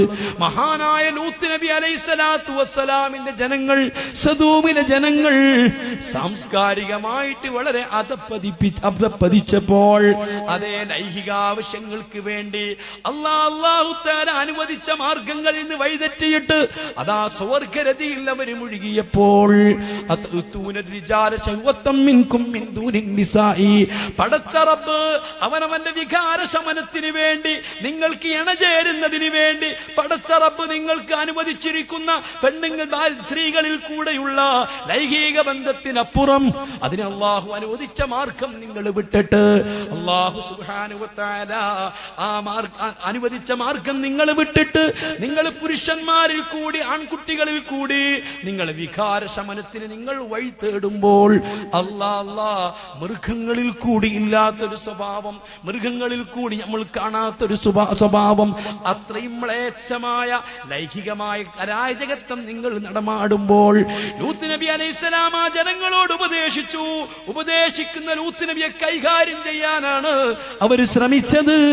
നീ ഇത്ര വലിയ ശുദ്ധനാണോ എന്ന് ചോദിച്ചിട്ട് മഹാനായ ലൂത്ത് നബി അലൈഹി സ്വലാത്തു വസ്സലാമിനെ ഒറ്റപ്പെടുത്തുകയാണ്.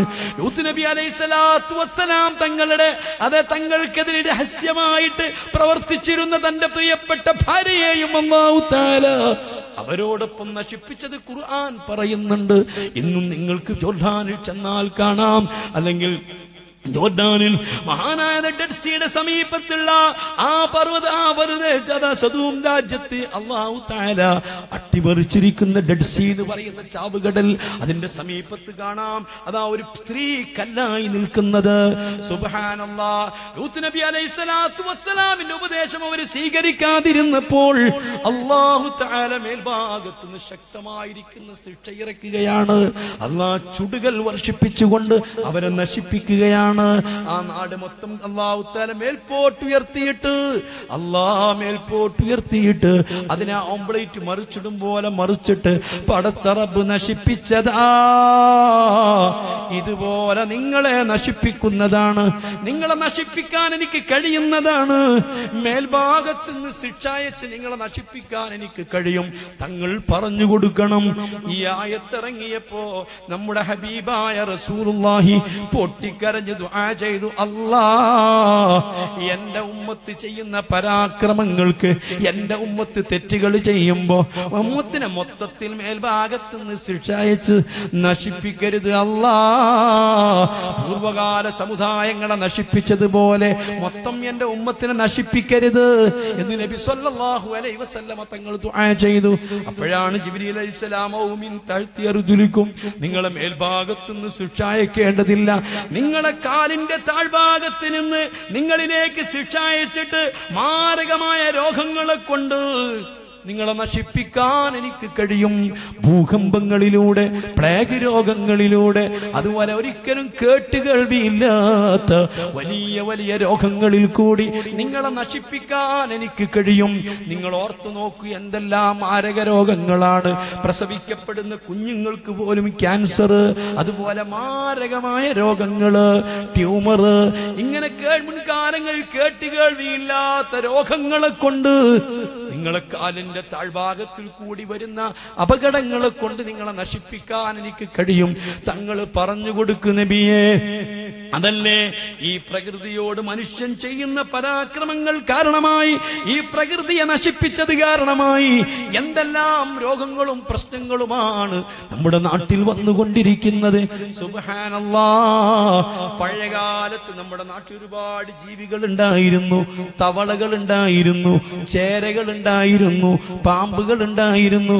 വലിയ വലിയ പാടങ്ങളിലൊക്കെ അള്ളാ ഇഷ്ടം പോലെ തവളകൾ ഉണ്ടായിരുന്നു. അതുപോലെ ഇന്ന് തവളകളെ കാണാനില്ല ഇന്ന് ചേരകളെ കാണാനില്ല. ഒരുപാട് ജീവികളെയും നമ്മൾ നമ്മൾ ഇന്ന് കാണാതെ വംശഹത്യ നേരിട്ട് കൊണ്ടിരിക്കുന്നു എന്തേ? അതൊക്കെ മനുഷ്യന്മാര് ചെയ്തു കൂട്ടിയ പരാക്രമങ്ങളാണ്. വലിയ വലിയ പർവതങ്ങൾ ഇടിച്ചു നിരത്തിയിട്ട് അതാ ഒരു പ്രദേശം മുഴുവനും മണ്ണിട്ട് നികത്തുമ്പോ അതിനിടയിൽ എത്ര തവളകളാണ് പെട്ടുപോയത്. എത്ര ചേരകളാണ് പെട്ടുപോയത്. അതുപോലെ തന്നെ തവള പിടിയന്മാര് തവള പിടിക്കാൻ വേണ്ടി വരുമ്പോ നമ്മൾ അവസാനത്തെ തവളയും ചൂണ്ടിക്കാണിച്ചു കൊടുക്കുക എന്നല്ലാതെ ചെയ്യരുതനിയാ കൊല്ലരുതനിയാ കൊല്ലരുത് എന്ന് പറയാൻ തയ്യാറായില്ല. ഈ ചേറുകളും തവളകളും ഇഴജന്തുക്കളും ഒക്കെ ഒരുപാട് ധർമ്മം ഇവിടെ ചെയ്തുകൊണ്ടിരുന്നു.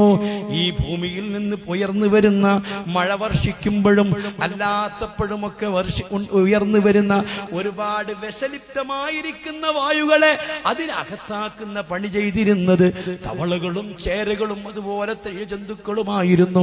അതൊക്കെ മനുഷ്യന്മാർ കൊന്നൊടുക്കിയപ്പോൾ അതിന്റെയൊക്കെ നാമ അതിന്റെയൊക്കെ വംശഹത്യ നേരിട്ടുകൊണ്ടിരുന്നപ്പോൾ ആ വാഹിച്ചെടുക്കുന്ന വിഷവായുകൾ മുഴുവനും നമ്മുടെ കുരുന്നു കുഞ്ഞുങ്ങളും മനുഷ്യരും ശ്വസിക്കുന്നു. അതുകൊണ്ട് തന്നെ മാരക രോഗങ്ങൾ കടിമപ്പെടുന്നു അല്ലാ ഓർക്കാൻ പോലും കഴിയുന്നില്ല. എത്രയെത്ര കുരുന്നു കുഞ്ഞുങ്ങളാണ് ജീവന് വേണ്ടിയിട്ട് വെമ്പൽ കൊള്ളുന്നത്. മാരക രോഗം പിടിവിട്ടിട്ട് വേദന കടിച്ചിറക്കിയിട്ട് കോളേജുകളിലും മറ്റും കഴിയുന്നത്.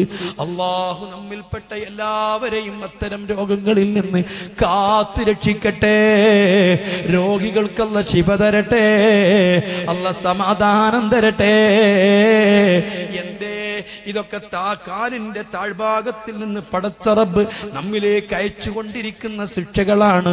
ഇങ്ങനെ ശിക്ഷകൾ അയച്ചുകൊണ്ട് മൊത്തം നിങ്ങളെ നശിപ്പിക്കാൻ എനിക്ക് കഴിയും. വർത്തമാന കാലത്ത് നമ്മുടെ പരിസരത്തൊക്കെ വലിയ മാറാവ്യാധിയായി. സുബാനല്ലാ മഞ്ഞപ്പിത്തം എന്ന രോഗം പടർന്നു പിടിച്ചു. അള്ളാഹു സർവരോഗികൾക്കും ശിഫ നൽകട്ടെ. എന്താണ് അതിന്റെ കാരണമെങ്കിൽ അള്ളാഹു തല ദൂരീകരിച്ചിട്ട് എല്ലാ രോഗികൾക്കും അള്ളാഹു ശിഫ നൽകുമാറാവട്ടെ. സന്തോഷം നൽകുമാറാവട്ടെ. ആഫിയത്ത് നൽകുമാറാവട്ടെ. എനിക്ക് കേൾക്കാൻ നമ്മൾ ഒരുപാട് ആളുകൾ നമ്മുടെ ഈ മാലിന്യത്തിന്റെ പരിസരത്തൊക്കെ എത്രയോ ആളുകൾക്ക് കുടുംബങ്ങൾ മൊത്തം മഞ്ഞപ്പിത്തം എന്ന വ്യാധി പിടിപെട്ടിട്ട് വളരെയധികം കട്ടപ്പെട്ടിട്ടുണ്ട് എന്നറിയാൻ കഴിഞ്ഞു. അത് ഞാനൊരു ഉദാഹരണം മാത്രമാണ്. ഇങ്ങനെ വലിയ വലിയ രോഗങ്ങൾ നിങ്ങളെ കാലിന്റെ താഴ്ഭാഗത്തിൽ കൂടി ഭൂമിയിൽ കൂടി വെള്ളത്തിലൂടി വായിൽ കൂടി നിങ്ങളിലേക്ക് അയച്ചുകൊണ്ട് നിങ്ങളെ നശിപ്പിക്കുവാൻ എനിക്ക് കഴിയും. ഹബീബിന്റെ കൈയുയർന്നു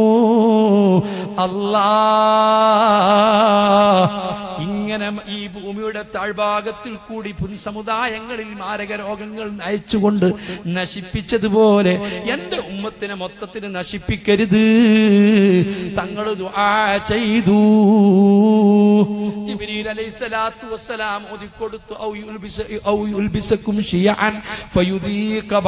ബഅസ നബിയേ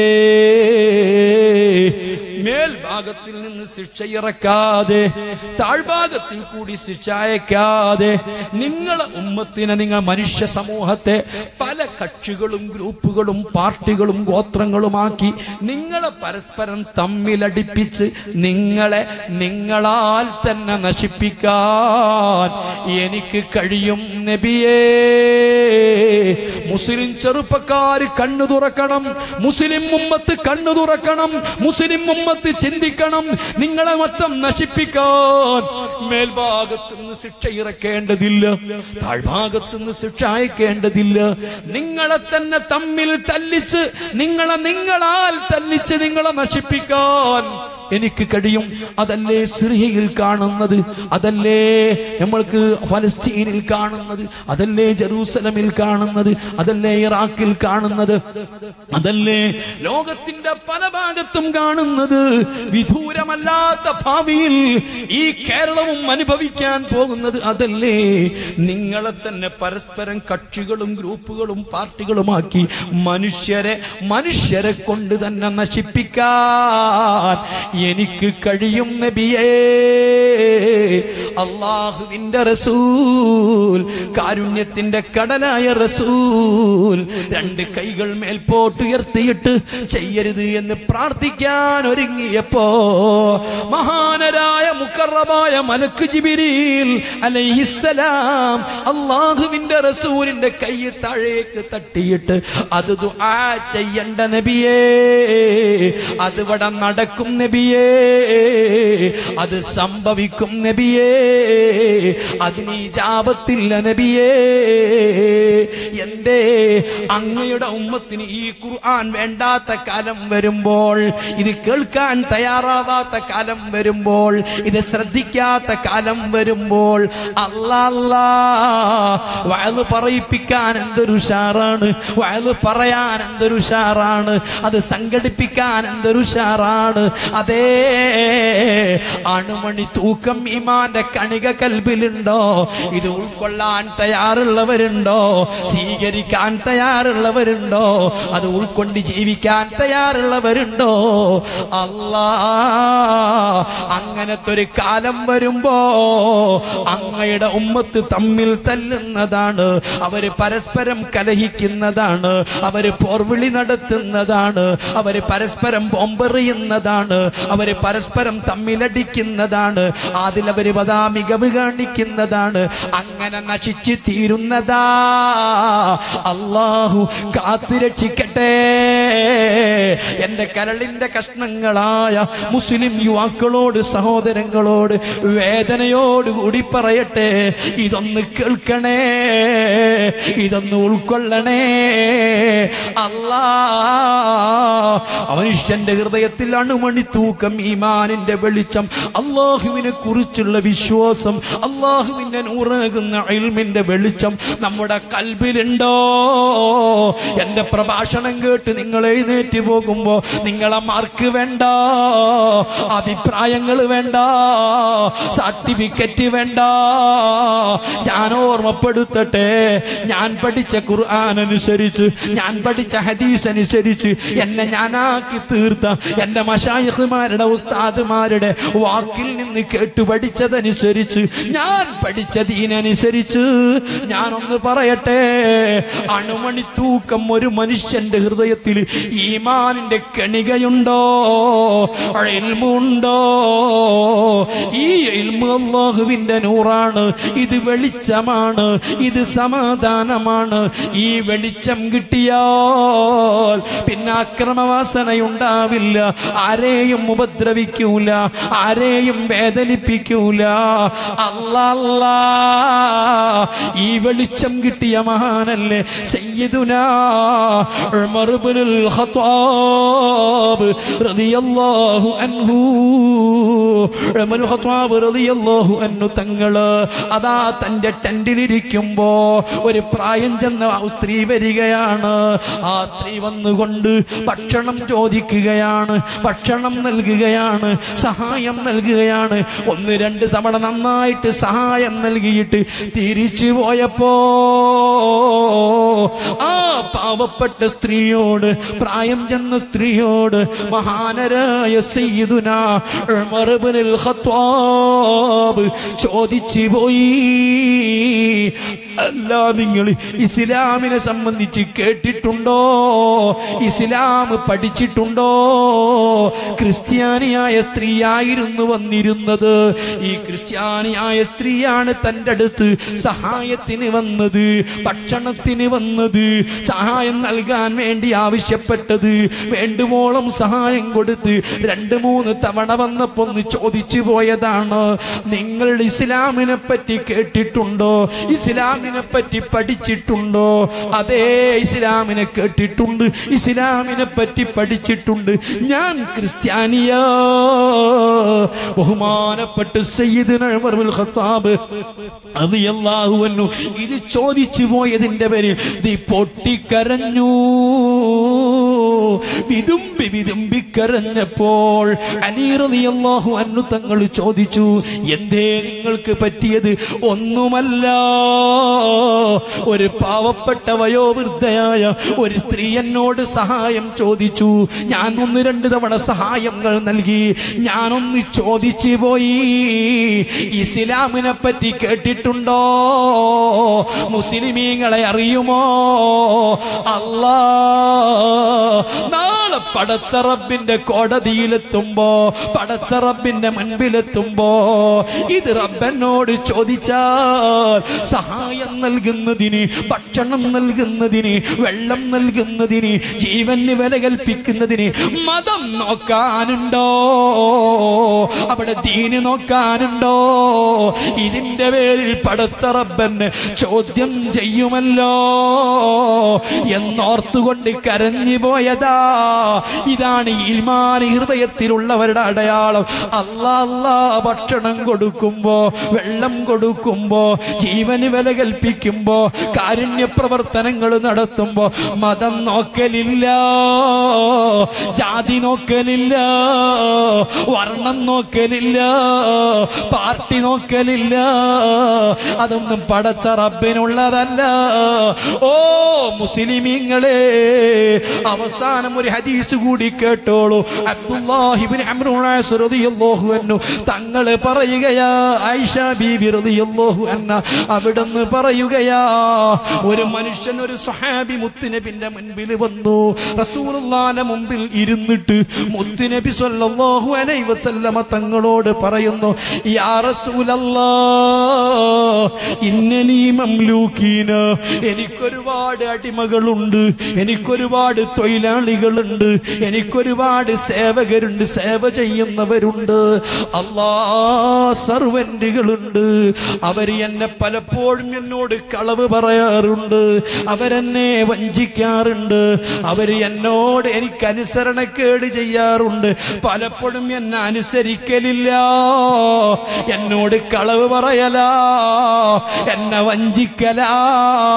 അപ്പോൾ വാനാഷ്ടിമുഖവും വാതിരിമുഖവും അതനുസരിച്ച് ഞാൻ അവർ ചീത്ത പറയാറുണ്ട്. അവരെ ഞാൻ അടിക്കാറുണ്ട്. അവരെ ഞാൻ ശിക്ഷ നടപ്പ അവരെ ശിക്ഷിക്കാറുണ്ട്. ഇപ്പൊ കൈഫാനമിന്നും നാളെ ഞാനും അവരും റബ്ബിന്റെ മുൻപിലെത്തുമ്പോ എങ്ങനെയുണ്ടാകും നബിയേ? അവരെ ഞാൻ അടിച്ചതിന് അവരെ ഞാൻ ചീത്ത പറഞ്ഞതിന് അവരെ ഞാൻ പഴിഞ്ഞേറിയതിന് റബ്ബെന്നെ ചോദ്യം ചെയ്യുമോ? മറുപടി പറയുമായി പറയേണ്ടി വരുമോ? മുസ്ലിമീങ്ങളെ മുസ്ലിമീങ്ങൾ അള്ളാഹുവിൽ വിശ്വസിക്കുന്നവരോട് ആഹിറം കൊണ്ട് വിശ്വസിക്കുന്നവരോട് ബഹുമാനപ്പെട്ട മുത്തുനബി പറയുകയാണ് മോനെ കിയാമത്ത് നാളായാൽ പടച്ചറപ്പിന്റെ മുൻപിലെത്തുമ്പോ.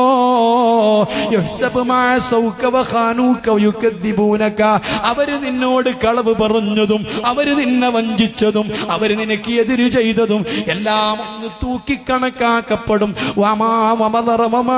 നീ അവരെ ശിക്ഷിച്ചതും നീ അവരെ ശിക്ഷിച്ചതും നീ അവരെ ചീത്ത പറഞ്ഞതും അവരെ വഷളാക്കിയതും എല്ലാം കൂടി ഒന്ന് തൂക്കപ്പെടുന്നതാണ്. നീ അവരെ ശിക്ഷിച്ചതും ചീത്ത പറഞ്ഞതും അവർ നിന്നോട് ചെയ്തിരിക്കുന്ന അക്രമങ്ങളും അത് തുല്യമാണോ? കഫാഫ. രണ്ടും തുല്യമാണ്. എങ്കിൽ ഫലാലക്ക ഫലാലയിക്ക നിന്റെ മേൽ പ്രത്യേകമായ അതിനാക്ഷേപം ഉണ്ടാവില്ല നിനക്കതിന് പ്രത്യേകം ശിക്ഷയുണ്ടാവില്ല.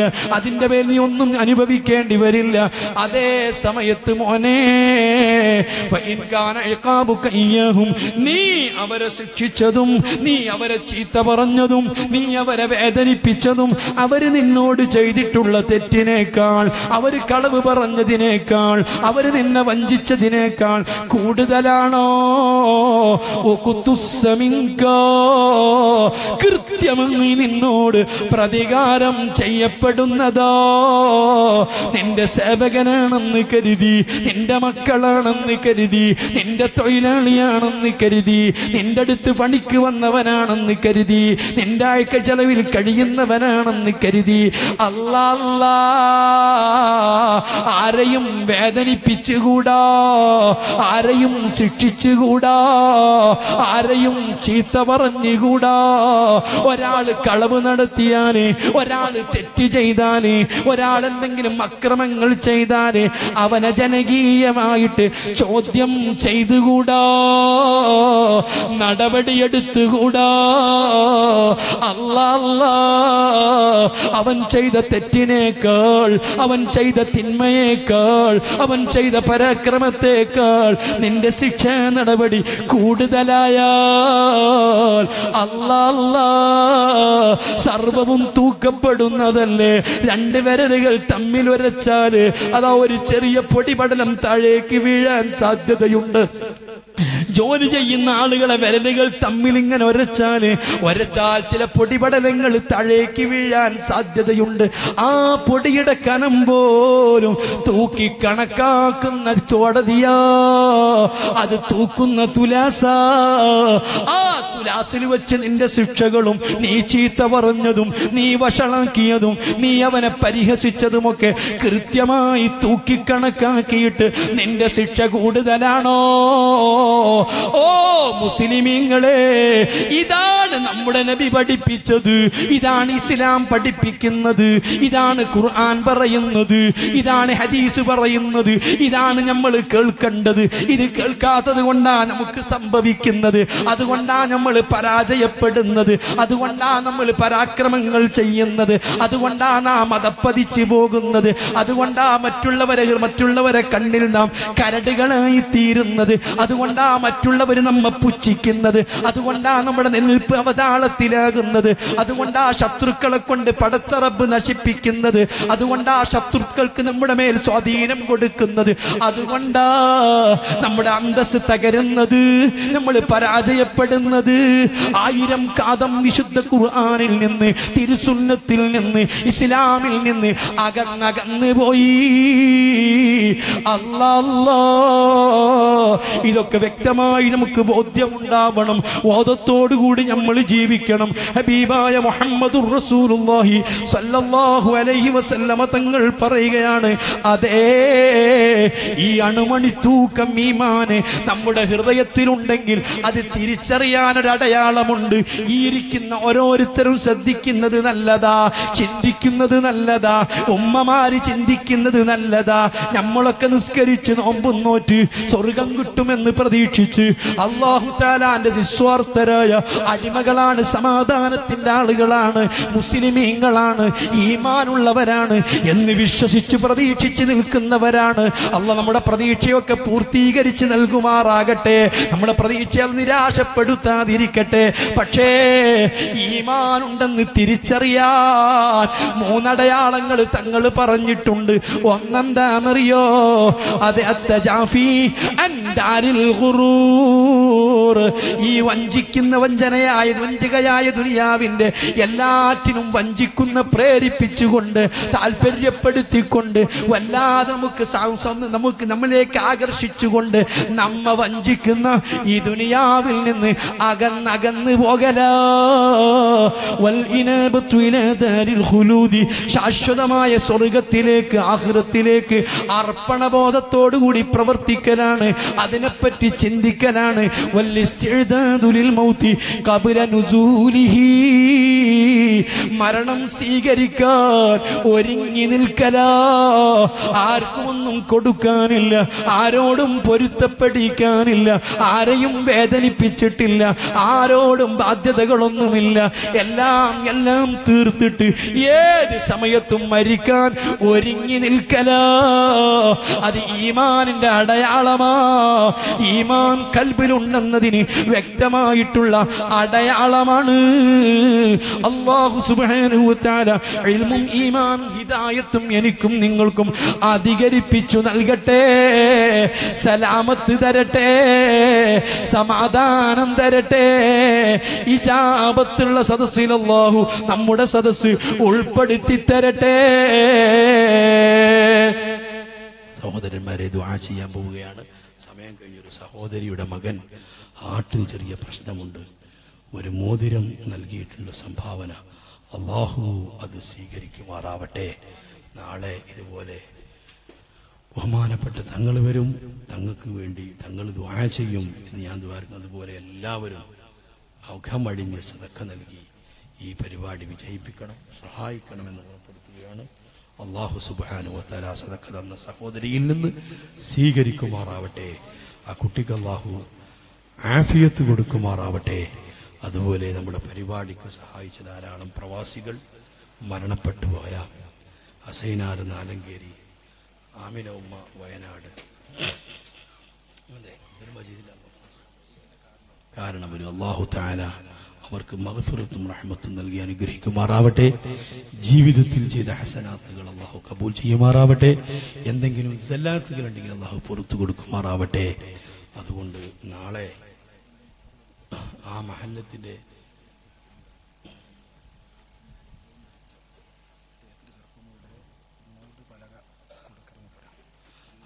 നാരങ്കേരി എന്ന് പറയുന്ന ആ സഹോദരൻ പത്ത് മുപ്പത് കൊല്ലമായി ആ മഹല്ലത്തിന്റെ പ്രസിഡന്റായിരുന്നു. ജീവിതത്തിൽ ചെയ്ത ഹസനാത്തല്ലാവ് സ്വീകരിക്കട്ടെ. ഇക്കാലം അത്രയും മരിച്ചുപോയ ആളുകളെ കബറുകൾക്കുള്ള മൂട് പോലെ അദ്ദേഹത്തിന്റെ വകയായിരുന്നു. എന്തൊക്കെ അയാൾ ജീവിതത്തിൽ ചെയ്തിട്ടുണ്ടോ ഹസനാത്തൊക്കെ അള്ളാഹു സ്വീകരിക്കട്ടെ. ജല്ലാത്തുകളൊക്കെ അള്ളാഹു തല പുറത്തു കൊടുക്കുമാറാവട്ടെ. അതുപോലെ നമ്മുടെ വേറെ ഒരു പ്രവർത്തകൻ നിസാർ അവരുടെ ഉമ്മ ഹോസ്പിറ്റലിലാണ് അള്ളാഹു ആഫിയത്ത് കൊടുക്കുമാറാവട്ടെ ശിഫ നൽകുമാറാവട്ടെ. നമ്മുടെ മാതാപിതാക്കളിൽ നിന്ന് ജീവിച്ചിരിക്കുന്നവർ സഹോദര സഹോദരന്മാരിൽ നിന്ന് ജീവിച്ചിരിക്കുന്നവർ അവർക്കൊക്കെ അള്ളാഹു ആഫിയത്തും ദീർഘ ആയുസ്സും നൽകി അനുഗ്രഹിക്കുമാറാകട്ടെ. എല്ലാവർക്കും വേണ്ടിയിട്ട് നമ്മൾ ദ്വാ ചെയ്യണം.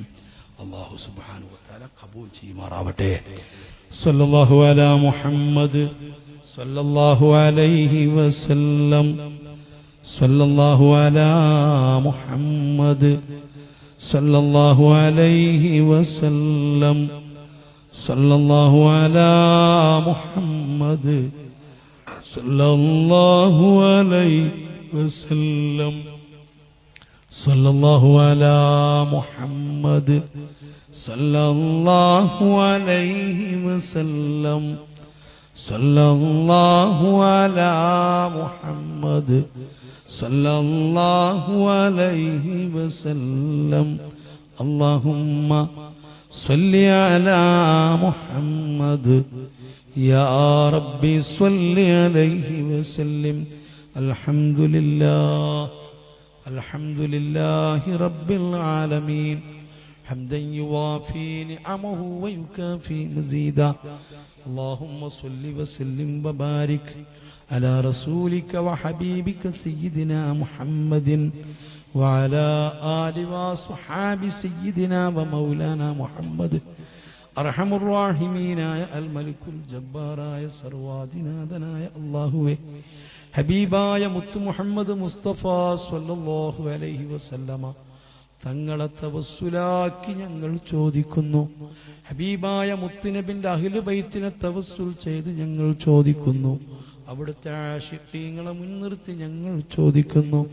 ഈ മഹല്ലത്തിന്റെ സമീപത്ത് മറവ് ചെയ്യപ്പെട്ട് കിടക്കുന്ന വലിയന്റെ ഹക്ക് കൊണ്ട് ഞങ്ങൾ ചോദിക്കുന്നു അല്ലാ ഞങ്ങളിൽ നിന്ന് നീ സ്വീകരിക്കണേ അല്ലാ.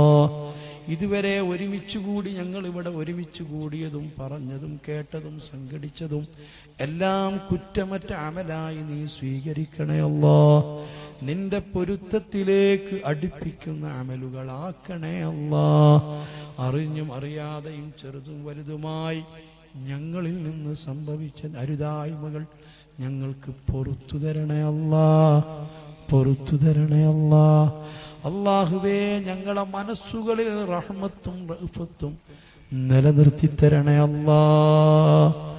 മാതാപിതാക്കളെ മാതാപിതാക്കളായി കാണാൻ മക്കളെ മക്കളായി കാണാൻ സഹജീവികളെ സഹജീവികളോടുള്ള അനുഭൂതിയോടെ റഹ്മത്തോടെ റഹ്ഫത്തോടെ കാരുണ്യത്തോടെ കാണാനും ബന്ധപ്പെടാനും ഞങ്ങൾക്ക് നീ മനസ്സുകളിൽ ഇതാ റഹ്മത്ത് നിലനിർത്തി തരണേ അല്ലാ. സമാധാനം നൽകണേ അല്ലാ. സലാമത്ത് നൽകണേ അല്ലാ. അള്ളാഹുവേ ഒരു നിമിഷം പോലും ഞങ്ങൾ നിന്നെ ധിക്കരിച്ചൊന്നും ചെയ്തിട്ടില്ല. ഖുർആൻ അവഗണിച്ചു ചെയ്തിട്ടില്ല. ഹബീബിനെ വെറുത്തുകൊണ്ട് ചെയ്തിട്ടില്ല. ദുർബല നിമിഷങ്ങളിൽ സംഭവിച്ചു പോയ തിന്മകളാണ്. പൊറത്തു തരണേ പൊറത്തു തരണേ പൊറത്തു തരണേ ഞങ്ങളെ ജീവിതത്തിൽ നിന്ന് സിംഹഭാഗവും കഴിഞ്ഞുപോയി റബ്ബേ. ഇനി ഇത്ര ജീവിക്കുമെന്ന് പ്രതീക്ഷയില്ലല്ലോ. ചിട്ടം വരുന്ന ജീവിതമെങ്കിലും ഒന്ന് നന്നാക്കി തരണേ നന്നാക്കി തരണേ ഞങ്ങളെ രാജ്യത്തും ഞങ്ങളെ നാട്ടിലും വീട്ടിലും കുടുംബത്തിലുമൊക്കെ സമാധാനത്തോടെ കഴിയാനുള്ള അന്തരീക്ഷം ഞങ്ങൾക്ക് നൽകണേ നൽകണേ അല്ലാ. അള്ളാഹുവേ ഞങ്ങൾക്കിടയിൽ സമാധാനവും ഐക്യവും ശാന്തിയും നിലനിർത്തി തരണേ അല്ലാ. നിന്റെ ക്രോധത്തിന്റെ നീ ക്രോധം നിന്റെ കൽപ്പനകൾക്കെതിരെ ചെയ്യുമ്പോൾ നിന്നിൽ നിന്ന് അകലുമ്പോൾ നിന്റെ ഖുർആനിൽ നിന്ന് അകലുമ്പോൾ നിന്റെ ദീനിൽ നിന്ന് അകലുമ്പോൾ നീ ശത്രുക്കൾക്ക് സ്വാധീനം കൊടുത്ത് സക്തത്ത് കൊണ്ട് ബഹുതുകൊണ്ട് ഞങ്ങളെ നശിപ്പിക്കുമെന്ന് ഹബീബ് പഠിപ്പിച്ചിട്ടുണ്ട്. അല്ലാ ഞങ്ങളെ കാലഘട്ടത്തിലാവല്ലേ അല്ലാ? ഞങ്ങളെ കാലഘട്ടത്തിലാക്കല്ലേ അല്ലാ? ഞങ്ങൾക്ക് സമാധാനം തരണേ അല്ലാ? അല്ലാ ലോകത്തിന്റെ നാനാഭാഗത്ത് പിഞ്ചു പിഞ്ചു പിഞ്ചു പൈതങ്ങൾ. അല്ലാ മാരകമായ ബോംബ് പൊട്ടുമെന്ന് ഓടാൻ പോലും കഴിയാത്ത യുദ്ധത്തിന്റെ ഭൂമിയിൽ നിന്ന് പായാൻ പോലും കഴിയാത്ത പെടതാപ്പ കാലുകൾ നിലത്തിട്ടടിച്ച് പെടഞ്ഞ് കരയുന്ന കുരുന്ന് കുഞ്ഞുങ്ങൾ മരിക്കുക മരിക്കുമ്പോൾ ഞങ്ങൾ സുഖിക്കുന്നതിന് എന്തർത്ഥമുണ്ട്? ഞങ്ങൾ ഇവിടെ സന്തോഷിക്കുന്നതിന് എന്തർത്ഥമുണ്ട്? ഞങ്ങൾ സമാധാനത്തോടെ ജീവിക്കുന്നതിന് എന്തർത്ഥമുണ്ട്? അവർക്കൊക്കെ രക്ഷ കൊടുക്കല്ല. ആ യുദ്ധക്കെടുതി കെടുത്തി കളയണേ അല്ലാ. അല്ലാ ഉത്തരവാദിത്തപ്പെട്ടവർക്ക് ബോധം കൊടുക്കണേ അല്ലാ. ബോധം കൊടുക്കണേ അല്ലാ ബോധം കൊടുക്കണേ അല്ലാ. ശത്രുക്കളാ ഞങ്ങളെ നീ നശിപ്പിക്കല്ലേ അല്ലാ. നീ ഞങ്ങൾക്ക് തന്ന നിഴമുത്തുകൾ നിലനിർത്തി തരണേ അല്ലാ. ഈ മഹത്തായ പരിപാടി സംഘടിപ്പിച്ച സംഘാടകർ ഇതിനധ്വാനിച്ചവർ പ്രവർത്തിച്ചവർ സഹായിച്ചവർ ഇവിടേക്ക് ചെയ്യാൻ പറഞ്ഞ് സദക്കകൾ കൊടുത്തയച്ചവർ പൊന്നു കൊടുത്തയച്ചവർ അവരിൽ നിന്നും